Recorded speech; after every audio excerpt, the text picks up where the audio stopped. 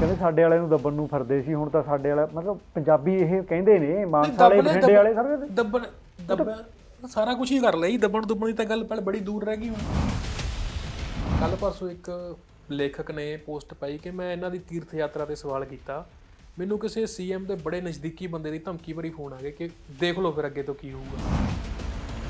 ਪੰਜਾਬ ਦੇ ਵਿੱਚ ਨਾ ਇੱਕ ਉਹ ਭੰਡਗਰੀਜੀ ਵਾਲਾ ਮਾਹੌਲ ਪੈਦਾ ਹੋ ਗਿਆ। ਮੁੱਖ ਮੰਤਰੀ ਸਾਹਿਬ ਕਹਿ ਦਿੰਦੇ ਆ ਜੀ, ਅਸੀਂ ਅਰਬੀ ਘੋੜੇ ਦੱਸਾਂਗੇ ਜੀ ਕਿਸੇ ਦੇ ਵੀ ਤੁਸੀਂ ਤੁਸੀਂ ਪੁਰਾਣੇ ਤੁਹਾਡੇ ਪ- 1950s ਦੇ ਵਿੱਚ ਕੋਈ ਤੁਹਾਡੇ ਜਿਹੜੇ, ਉਹ ਕੀ ਲੈਣਾ ਪੰਜਾਬ ਨੇ ਅਰ- ਅਰਬੀ ਘੋੜਿਆਂ ਤੋਂ? ਕੀ ਲੈਣਾ ਪੰਜਾਬ ਨੇ ਵੀਡੀਓਆਂ ਤੋਂ?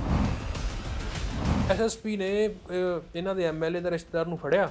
ਐਸਐਸਪੀ ਬਦਲ ਦਿੱਤਾ। ਤਾਂ ਸ਼ਰਿਆਂ ਵੀ ਪਤਾ ਲੱਗਦਾ ਵੀ ਤੁਸੀਂ ਕਰਪਸ਼ਨ ਨੂੰ ਸਪੋਰਟ ਕਰਦੇ ਪਏ ਜਿੰਨਾ ਕਿ ਮੈਂ ਜਾਣਦਾ ਐਸਐਸਪੀ ਨੂੰ, ਉਹ ਬੰਦਾ ਚੰਗੇ ਉਹਨਾਂ ਦੇ ਵਿੱਚੋਂ ਆਉਂਦਾ ਹੈ ਤੇ ਉਹਨੂੰ ਬਦਲ ਦਿੱਤਾ ਜਾਂਦਾ ਪੰਜਾਬੀਆਂ ਦੀ ਫਿਤਰਤ ਹੈ ਕਿ ਉਹ ਚੀਜ਼ ਨੂੰ ਬੜੀ ਛੇਤੀ ਅਡਾਪਟ ਵੀ ਕਰਦੇ ਆ ਤੇ ਜੇ ਸ- ਉਸ ਤਰੀਕੇ ਨਾ ਨਿਕਲੇ ਤੇ ਲੱਤ ਵੀ ਛੇਤੀ ਮਾਰਦੇ ਆਮ ਆਦਮੀ ਪਾਰਟੀ ਨੂੰ ਨਹੀਂ ਜਿਤਾਇਆ। ਇਹ ਪਿਛਲੀਆਂ ਜਿਹੜੀਆਂ ਸਰਕਾਰਾਂ ਨੇਗੀਆਂ, ਉਹਨਾਂ ਦੀਆਂ ਜਿਹੜੀਆਂ ਨਾਕਾਮੀਆਂ ਸੀਗੀਆਂ, ਉਹਨਾਂ ਦੇ ਅਗੇਂਸਟ ਵੋਟ ਪਾਈ ਹੈ। ਆਮ ਆਦਮੀ ਪਾਰਟੀ ਦੇ ਐਮਐਲਏ ਨੇ, ਮਹਾਰਾ, ਪੁਰਾਣੇ ਮਹਾਰਾਜਿਆਂ ਦੇ, ਹੁਣ ਮਹਿਲ ਖਰੀਦੀ ਜਾਂਦੇ ਨੇ 50 50 ਕਰੋੜ ਦੇ 60 60 ਕਰੋੜ ਦੇ। ਬਾਈ ਜੀ 2 ਸਾਲਾਂ ਦੇ ਵਿੱਚ ਇੰਨਾ ਪੈਸਾ ਕਿੱਥੋਂ? ਕਿਹੜਾ ਇਹਨਾਂ ਦੇ ਕੋਲੇ ਤਨਖਾਹਾਂ ਇੰਨੀਆਂ ਕਿੰਨੀਆਂ ਕੁ ਵੱਧ ਗਈਆਂ ਕਿ ਇਹੋ ਜਿਹਾ ਕੁਝ ਚੱਲਦਾ ਪਿਆ? ਉਹ ਸਿਰਫ ਸਿੰਪਲ ਲੁੱਟ ਹੈ ਲੋਕਾਂ ਦੀ ਹੋਰ ਕੁਝ ਨਹੀਂ। ਇਹ ਕਹਿੰਦੇ ਸੀ ਕੇਵਲ ਮਾਫੀਆ ਖਤਮ ਕਰਾਂਗੇ ਸ਼ਰਾਬ ਮਾਫੀਆ ਖਤਮ ਕਰਾਂਗੇ ਅਸੀਂ ਆਹ ਮਾਫੀਆ ਖਤਮ ਕਰਾਂਗੇ। ਸਾਰਾ ਮਾਫੀਆ ਉਦਾਂ ਹੀ ਆ ਸ਼ਰਾਬ ਪਾਲਿਸੀ ਇਹਨਾਂ ਨੇ ਬਣਾਈ ਹੈ ਦਿੱਲੀ ਵਾਲੀ ਹੈ। ਤੁਸੀਂ ਅੱਜ ਕੱਲ ਤੁਸੀਂ ਦੇਖੋ ਦਿੱਲੀ ਫੜੇ ਆ ਤੇ ਅੱਜ ਕੱਲ ਆ ਪੰਜਾਬ ਦੀ ਜਿਹੜੀ ਪਾਲਿਸੀ ਬਣਾਈ ਸੀ ਇਹਨਾਂ ਨੇ ਐਕਸਾਈਜ਼ ਪਾਲਿਸੀ ਇਹਦੇ ਚ ਜਿੰਨੇ ਅਫਸਰ ਸੀਗੇ ਉਹਨਾਂ ਦੇ ਆਹ ਈਡੀ ਤੇ ਸੀਬੀਆਈ ਨਾਲ ਸਮਨ ਕੀਤੇ ਹੋਏ ਤੁਸੀਂ ਦੇਖੋ ਵੀ ਪਿੱਛੇ ਬਦਲੀਆਂ ਹੋਈਆਂ ਸੂਚਨਾ ਲੋਕ ਸੰਪਰਕ ਵਿਭਾਗ ਦੇ ਵਿੱਚ ਅਫਸਰਾਂ ਨੇ 30 30 ਕਰੋੜ ਦੀ ਐਡ ਇੱਕ ਇੱਕ ਸੱਟੇ 'ਚ ਕਿਸੇ ਸਾਊਥ ਦੀ ਸਟੇਟ 'ਚ ਦੇਣੀ ਹੈ ਜੀ। 100 100 ਕਰੋੜ ਦੀ ਐਡ ਇੱਕ ਇੱਕ ਹਫ਼ਤੇ 'ਚ। ਮਤਲਬ ਇਹੋ ਜਿਹੀਆਂ ਟ੍ਰਾਂਜੈਕਸ਼ਨਾਂ ਅਫਸਰਾਂ ਦੇ ਸਾਈਨਾਂ ਦੇ ਥੱਲੇ ਹੁੰਦੀਆਂ ਪਈਆਂ ਨੇਗੀਆਂ। ਜੇ ਤੁਹਾਡੇ ਤੋਂ ਕੋਈ ਪੁੱਠਾ ਕੰਮ ਕਰਾਉਣਾ, ਤੁਸੀਂ ਨਾ ਕਰੋ। ਵੱਧੋ ਵੱਧ ਕੀ ਹੋ ਜਾਊਗਾ? ਵੱਧੋ ਵੱਧ ਤੁਹਾਨੂੰ ਖੁੱਡੇ ਲੈਣ ਪੋਸਟ ਤੇ ਬਿਠਾ ਦੇਣਗੇ 5 ਸਾਲ। 2 ਸਾਲ ਤੇ ਟੱਪ ਕੇ 3 ਸਾਲ ਜੇ ਖੁੱਡੇ ਲੈਣ ਪੋਸਟ ਤੇ ਰਹਿ ਜਾਓਗੇ, ਤਨਖਾਹ ਤੇ ਤੁਹਾਨੂੰ ਫੇਰ ਵੀ ਮਿਲੂਗੀ। ਲੁੱਟ ਇੰਨੀ ਵੱਧ ਗਈ ਐਨਓਸੀ ਦੇ ਨਾਂ ਤੇ। ਇੱਕ ਇੱਕ ਰਜਿਸਟਰੀ ਤੇ 50 50 ਹਜ਼ਾਰ ਰੁਪਏ ਰਿਸ਼ਵਤ ਲੱਖ ਲੱਖ ਰਿਸ਼ਵਤ 2 2 ਲੱਖ ਰੁਪਏ ਰਿਸ਼ਵਤ ਐਨਓਸੀ ਦੇ ਨਾਂ ਤੇ। ਪੈਸੇ ਦਿਓ ਐਨਓਸੀ ਸ਼ਾਮ ਨੂੰ ਮਿਲ ਜਾਂਦੀ ਹੈ। ਤੁਸੀਂ 50000 ਰੁਪਏ ਦਿਓ, ਡੁਪਲੀਕੇਟ ਐਨਓਸੀਆਂ ਦੇਈ ਜਾਂਦੇ ਨੇ ਆਮ ਆਦਮੀ ਪਾਰਟੀ ਦੇ ਨੁਮਾਇੰਦੇ। ਟੈਂਡਰ ਤੁਸੀਂ ਦੇਖੋ ਮਾਨਸਾ ਦੇ ਵਿੱਚ ਕੱਢੇ, ਜਿਹੜੀਆਂ ਸੜਕਾਂ ਬਣੀਆਂ ਸਾਰਿਆਂ ਦੇ ਟੈਂਡਰ ਕੱਢ ਦਿੱਤੇ। ਪੈਸਾ ਇੱਕੋ ਇੱਕੋ ਹੀ ਰਹਿ ਗਿਆ ਵੀ ਮੇਰੇ ਮੈਂ ਪ੍ਰਧਾਨ ਬਣਿਆ, ਮੈਂ ਐਮਐਲਏ ਬਣਿਆ 2 ਸਾਲ ਤੇ 4 ਸਾਲ ਹੈਗੇ ਆ, ਮੈਂ ਠੋਕ ਕੇ ਲੁੱਟ ਕਰਨੀ ਹੈ। ਲੋਕਾਂ ਦਾ ਕੀ ਹੈ ਤਾਂ ਚੱਲਦਾ ਹੀ ਰਹਿਣਾ। ਮਾਨਸਾ ਮੁੰਡਿਆਂ ਦਾ ਸਕੂਲ। ਬਿਲਡਿੰਗ ਠੀਕ ਠਾਕ ਬਣੀ ਹੋਈ ਹੈ ਮੂਰੇ ਸਕੂਲ ਆਫ ਐਮੀਨੈਂਸ ਦਾ ਬੋਰਡ ਲੱਗ ਗਿਆ। ਕੀ ਉਹ ਸਕੂਲ ਆਫ ਐਮੀਨੈਂਸ ਬਣ ਗਿਆ? ਉਹ ਸਿਰਫ ਇੰਨਾ ਕਿ ਉਹਨੂੰ ਰੰਗ ਕਰਤਾ ਬੋਰਡ ਲਾਤਾ ਦੈਟਸ ਇਟ ਇਹ ਸਕੂਲ ਆਫ ਐਮੀਨੈਂਸ ਹੈ ਕੁਝ ਨਹੀਂ। ਉਦੋਂ ਬਾਅਦ ਕਿ ਅਰਵਿੰਦ ਕੇਜਰੀਵਾਲ ਜੀ ਨੇ ਇੱਥੇ ਮਾਤਾ ਕੁਸ਼ਲਿਆ ਹਸਪਤਾਲ ਇੱਥੇ ਉਦਘਾਟਨ ਕਰਨਾ ਹੈ ਪਟਿਆਲੇ। ਸਟਾਫ ਤੱਕ ਨਹੀਂ ਹੈਗਾ ਸੀ ਉੱਥੇ, ਮਸ਼ੀਨਾਂ ਤੱਕ ਨਹੀਂ ਹੈਗੀਆਂ ਸੀ। ਸਟਾਫ 2 ਦਿਨ ਦੇ ਲਈ ਕਿਤੇ ਬਾਹਰਲੇ ਹਸਪਤਾਲਾਂ ਤੋਂ ਬੁਲਾਇਆ ਕਿ ਇੱਥੇ ਉਦਘਾਟਨ ਕਰਨਾ ਹੈ।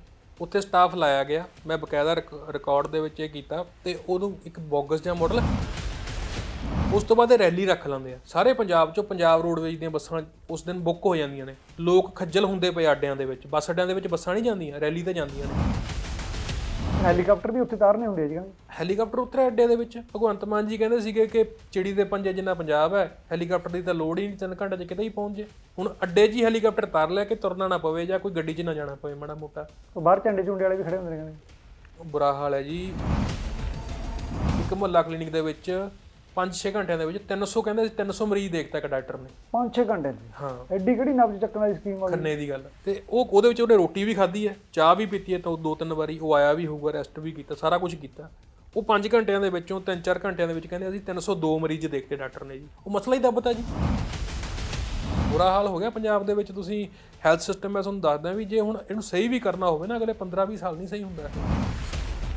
ਬਠਿੰਡਾ ਜੇਲ੍ਹ ਦੇ ਵਿੱਚ ਜਦੋਂ ਸਾਡੇ ਡੀਜੀਪੀ ਨੇ ਇੱਕ ਬਿਆਨ ਦਿੱਤਾ ਸੀਗਾ ਕਿ ਉੱਥੇ ਬੜੀ ਸਿਕਿਉਰਿਟੀ ਹੈ ਜੇਲ੍ਹ ਦੇ ਵਿੱਚ ਫੋਨ ਚੱਲ ਹੀ ਨਹੀਂ ਸਕਦੇ। ਚੈਂਬਰ ਲੱਗੇ ਹੋਏ ਨੇ ਕਹਿੰਦੇ ਵਿੱਚ ਤੇ ਮਤਲਬ ਮੈਂ ਹੁਣ ਆਰਟੀਏ ਪਾਈ ਸੀ ਮੇਰੇ ਕੋਲ ਆਰਟੀ ਦੀ ਇਨਫੋਰਮੇਸ਼ਨ ਪਈ ਹੈ। ਉਹ ਕਹਿੰਦੇ ਜੀ ਅਸੀਂ ਉਸ ਮਹੀਨੇ 18 ਮੋਬਾਈਲ ਫੜਿਆ ਜਿਹੜੇ ਮਹੀਨੇ ਉਹ ਇੰਟਰਵਿਊ ਹੋਇਆ। ਜੈਮਰ ਚੱਲਦੇ ਨਹੀਂ ਪਏ ਉੱਥੇ ਜੈਮਰ ਚੱਲ ਲੱਗੇ ਹੋਏ ਆ। ਹੁਣ ਇੱਥੇ ਜੈਮਰ ਲੱਗਿਆ ਮੈਂ ਫੋਨ ਕੋ ਲੈ ਕੇ ਆਉਂਗਾ ਕੋਈ ਸਾਹਿਬ ਇਹ ਤਾਂ ਮਤਲਬ ਫਿਰ ਯੂਥ ਤਾਂ ਸੁਰੱਖਿਅਤ ਹੈ ਨਹੀਂ ਪੰਜਾਬ 'ਚ? ਕਿ ਰੋਜ਼ ਕਿੰਨੇ ਹਮਲੇ ਵੱਧਦੇ ਪਏ ਆ ਕੋਈ ਦੁਕਾਨਦਾਰ ਬੈਠੇ ਉਹਦੇ ਉੱਤੇ ਕੋਈ ਗੋਲੀ ਮਾਰ ਕੇ ਚੱਲ ਜਾਂਦਾ। ਹੈ ਕਿਸੇ ਦੇ ਪਿੰਡਾਂ ਦੇ ਵਿੱਚ ਉਹ ਫੌਜੀ ਦੇ ਲੁੱਟ ਕੇ ਲੈ ਗਏ ਉਹਨੂੰ ਮਾਰ ਕੇ। ਪੰਜਾਬ ਦੇ ਵਿੱਚ ਤੇ ਵੱਧਦਾ ਹੀ ਜਾ ਰਿਹਾ ਨਾ ਕਲਚਰ ਇਹ। ਪ੍ਰੋਫੈਸਰ ਨੇ ਜੀ ਖੁਦਕੁਸ਼ੀ ਵੀ ਕਰ ਲਈ ਉੱਥੇ। ਹਾਂ ਹਾਂ ਸਿੱਖਿਆ ਮੰਤਰੀ ਸਿਸਟਮ ਕੀ ਸਿੱਖਿਆ ਮੰਤਰੀ ਬੜਾ ਐਰੋਗੈਂਟ ਬੰਦਾ ਉਹ ਸਿੱਖਿਆ ਮੰਤਰੀ ਜਿਹੜਾ ਹੈਗਾ ਉਹਨੂੰ ਗੱਲ ਕਰਨ ਦੀ ਅਕਲ ਨਹੀਂ ਬੰਦੇ ਨੂੰ।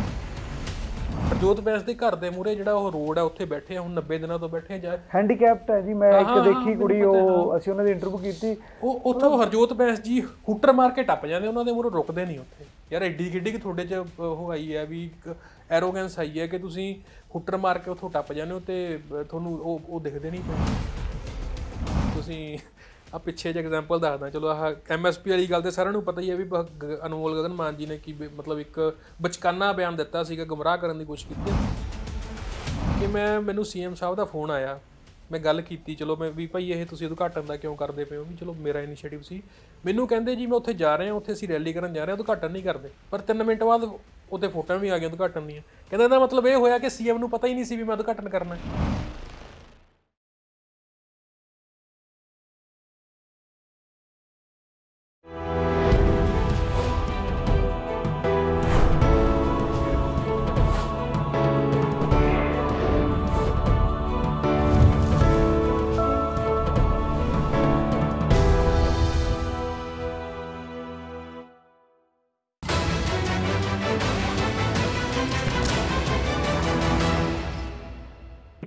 ਗੁਲ ਸਾਹਿਬ ਇਹ ਬੜੀ ਚਰਚਾ ਲੋਕਾਂ 'ਚ ਅਸੀਂ ਪਿੰਡਾਂ ਮੁੰਡਾਂ ਜਾਂਦੇ ਆ ਨਾ ਮੈਂ ਮੁਲਾਜ਼ਮਾਂ ਨਾਲ ਵੀ ਗੱਲਾਂ ਕਰਦਾ। ਸਾਡੇ ਜਿਹੜੇ ਸਟਾਰ ਨੇ ਜੀ ਅਸੀਂ ਮੈਂ ਲੀਡਰਾਂ ਦੀ ਇੰਟਰਵਿਊ ਦੇ ਚਲੋ ਪੱਖ ਸਾਰਿਆਂ ਦਾ ਜਾਣਨਾ ਹੁੰਦਾ ਹਰੇਕ ਦਾ ਪੱਖ ਅਸੀਂ ਪੇਸ਼ ਕਰਦੇ ਆ ਉਹਦਾ ਵੀ ਉਹਦੇ।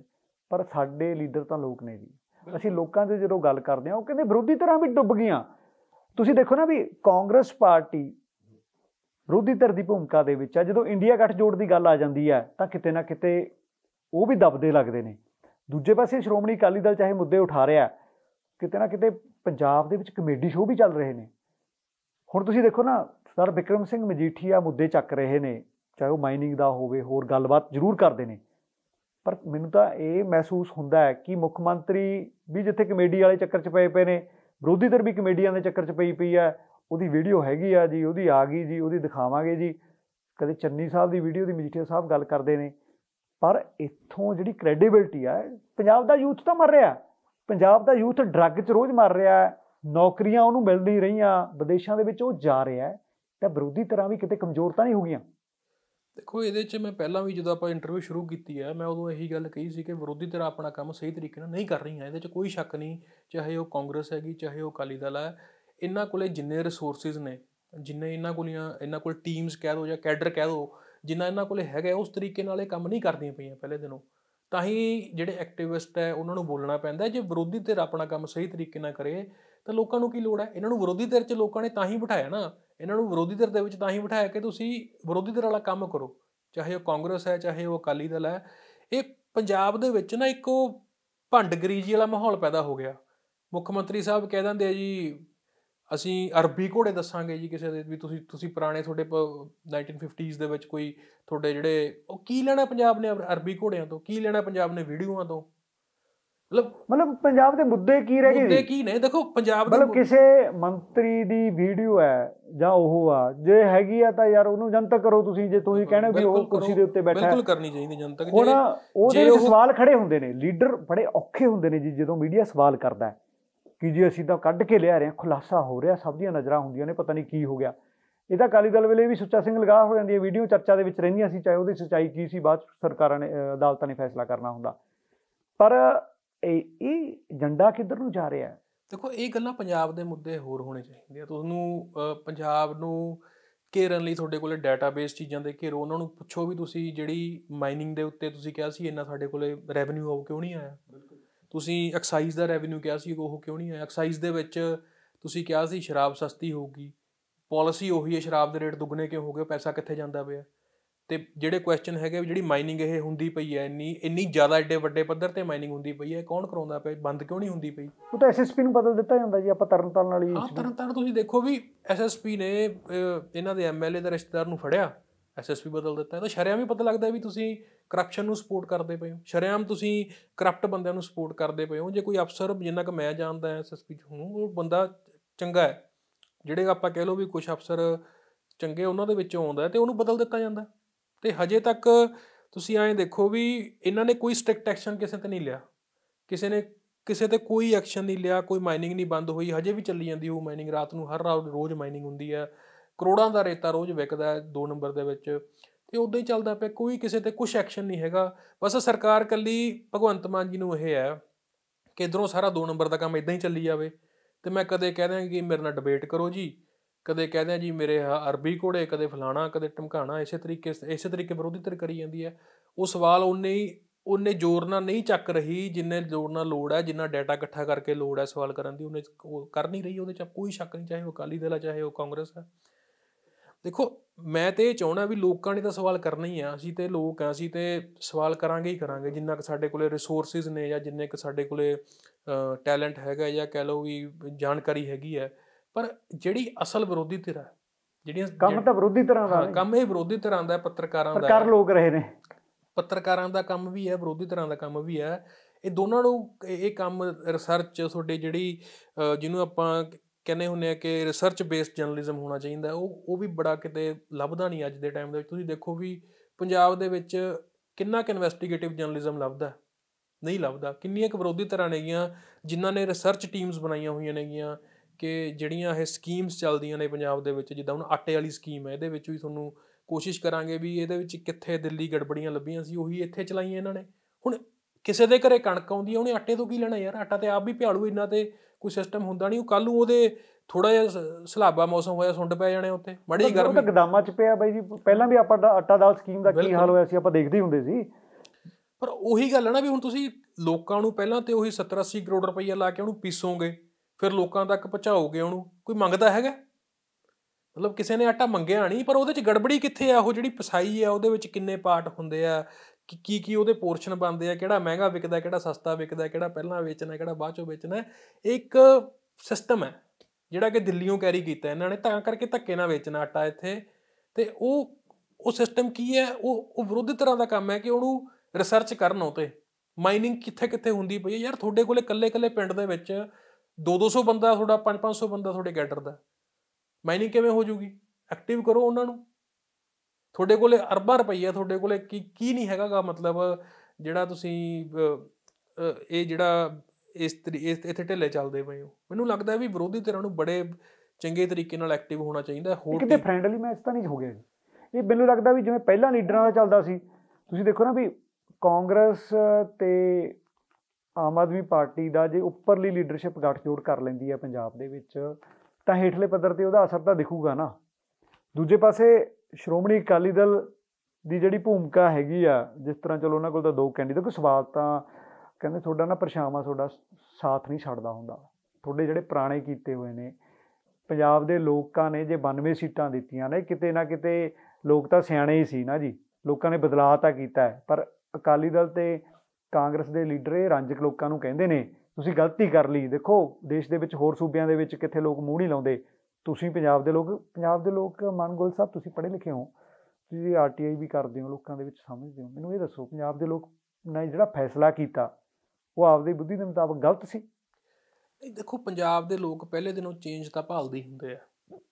ਪੰਜਾਬੀਆਂ ਦੀ ਫਿਤਰਤ ਹੈ ਕਿ ਉਹ ਚੀਜ਼ ਨੂੰ ਬੜੀ ਛੇਤੀ ਅਡਾਪਟ ਵੀ ਕਰਦੇ ਆ ਤੇ ਜੇ ਸ- ਉਸ ਤਰੀਕੇ ਨਾ ਨਿਕਲੇ ਤੇ ਲੱਤ ਵੀ ਛੇਤੀ ਮਾਰਦੇ ਆ। ਪਿਛਲੇ ਸਾਡੇ ਕੋਲ ਕਿੱਡਾ ਵੱਡਾ ਇਤਿਹਾਸ ਹੈ ਇਹਨਾਂ ਚੀਜ਼ਾਂ ਦੇ ਵਿੱਚ, ਦੇਖੋ। ਉਸੇ ਤਰੀਕੇ ਇਹਨਾਂ ਨੇ ਆਮ ਆਦਮੀ ਪਾਰਟੀ ਨੂੰ ਦੇਖਿਆ।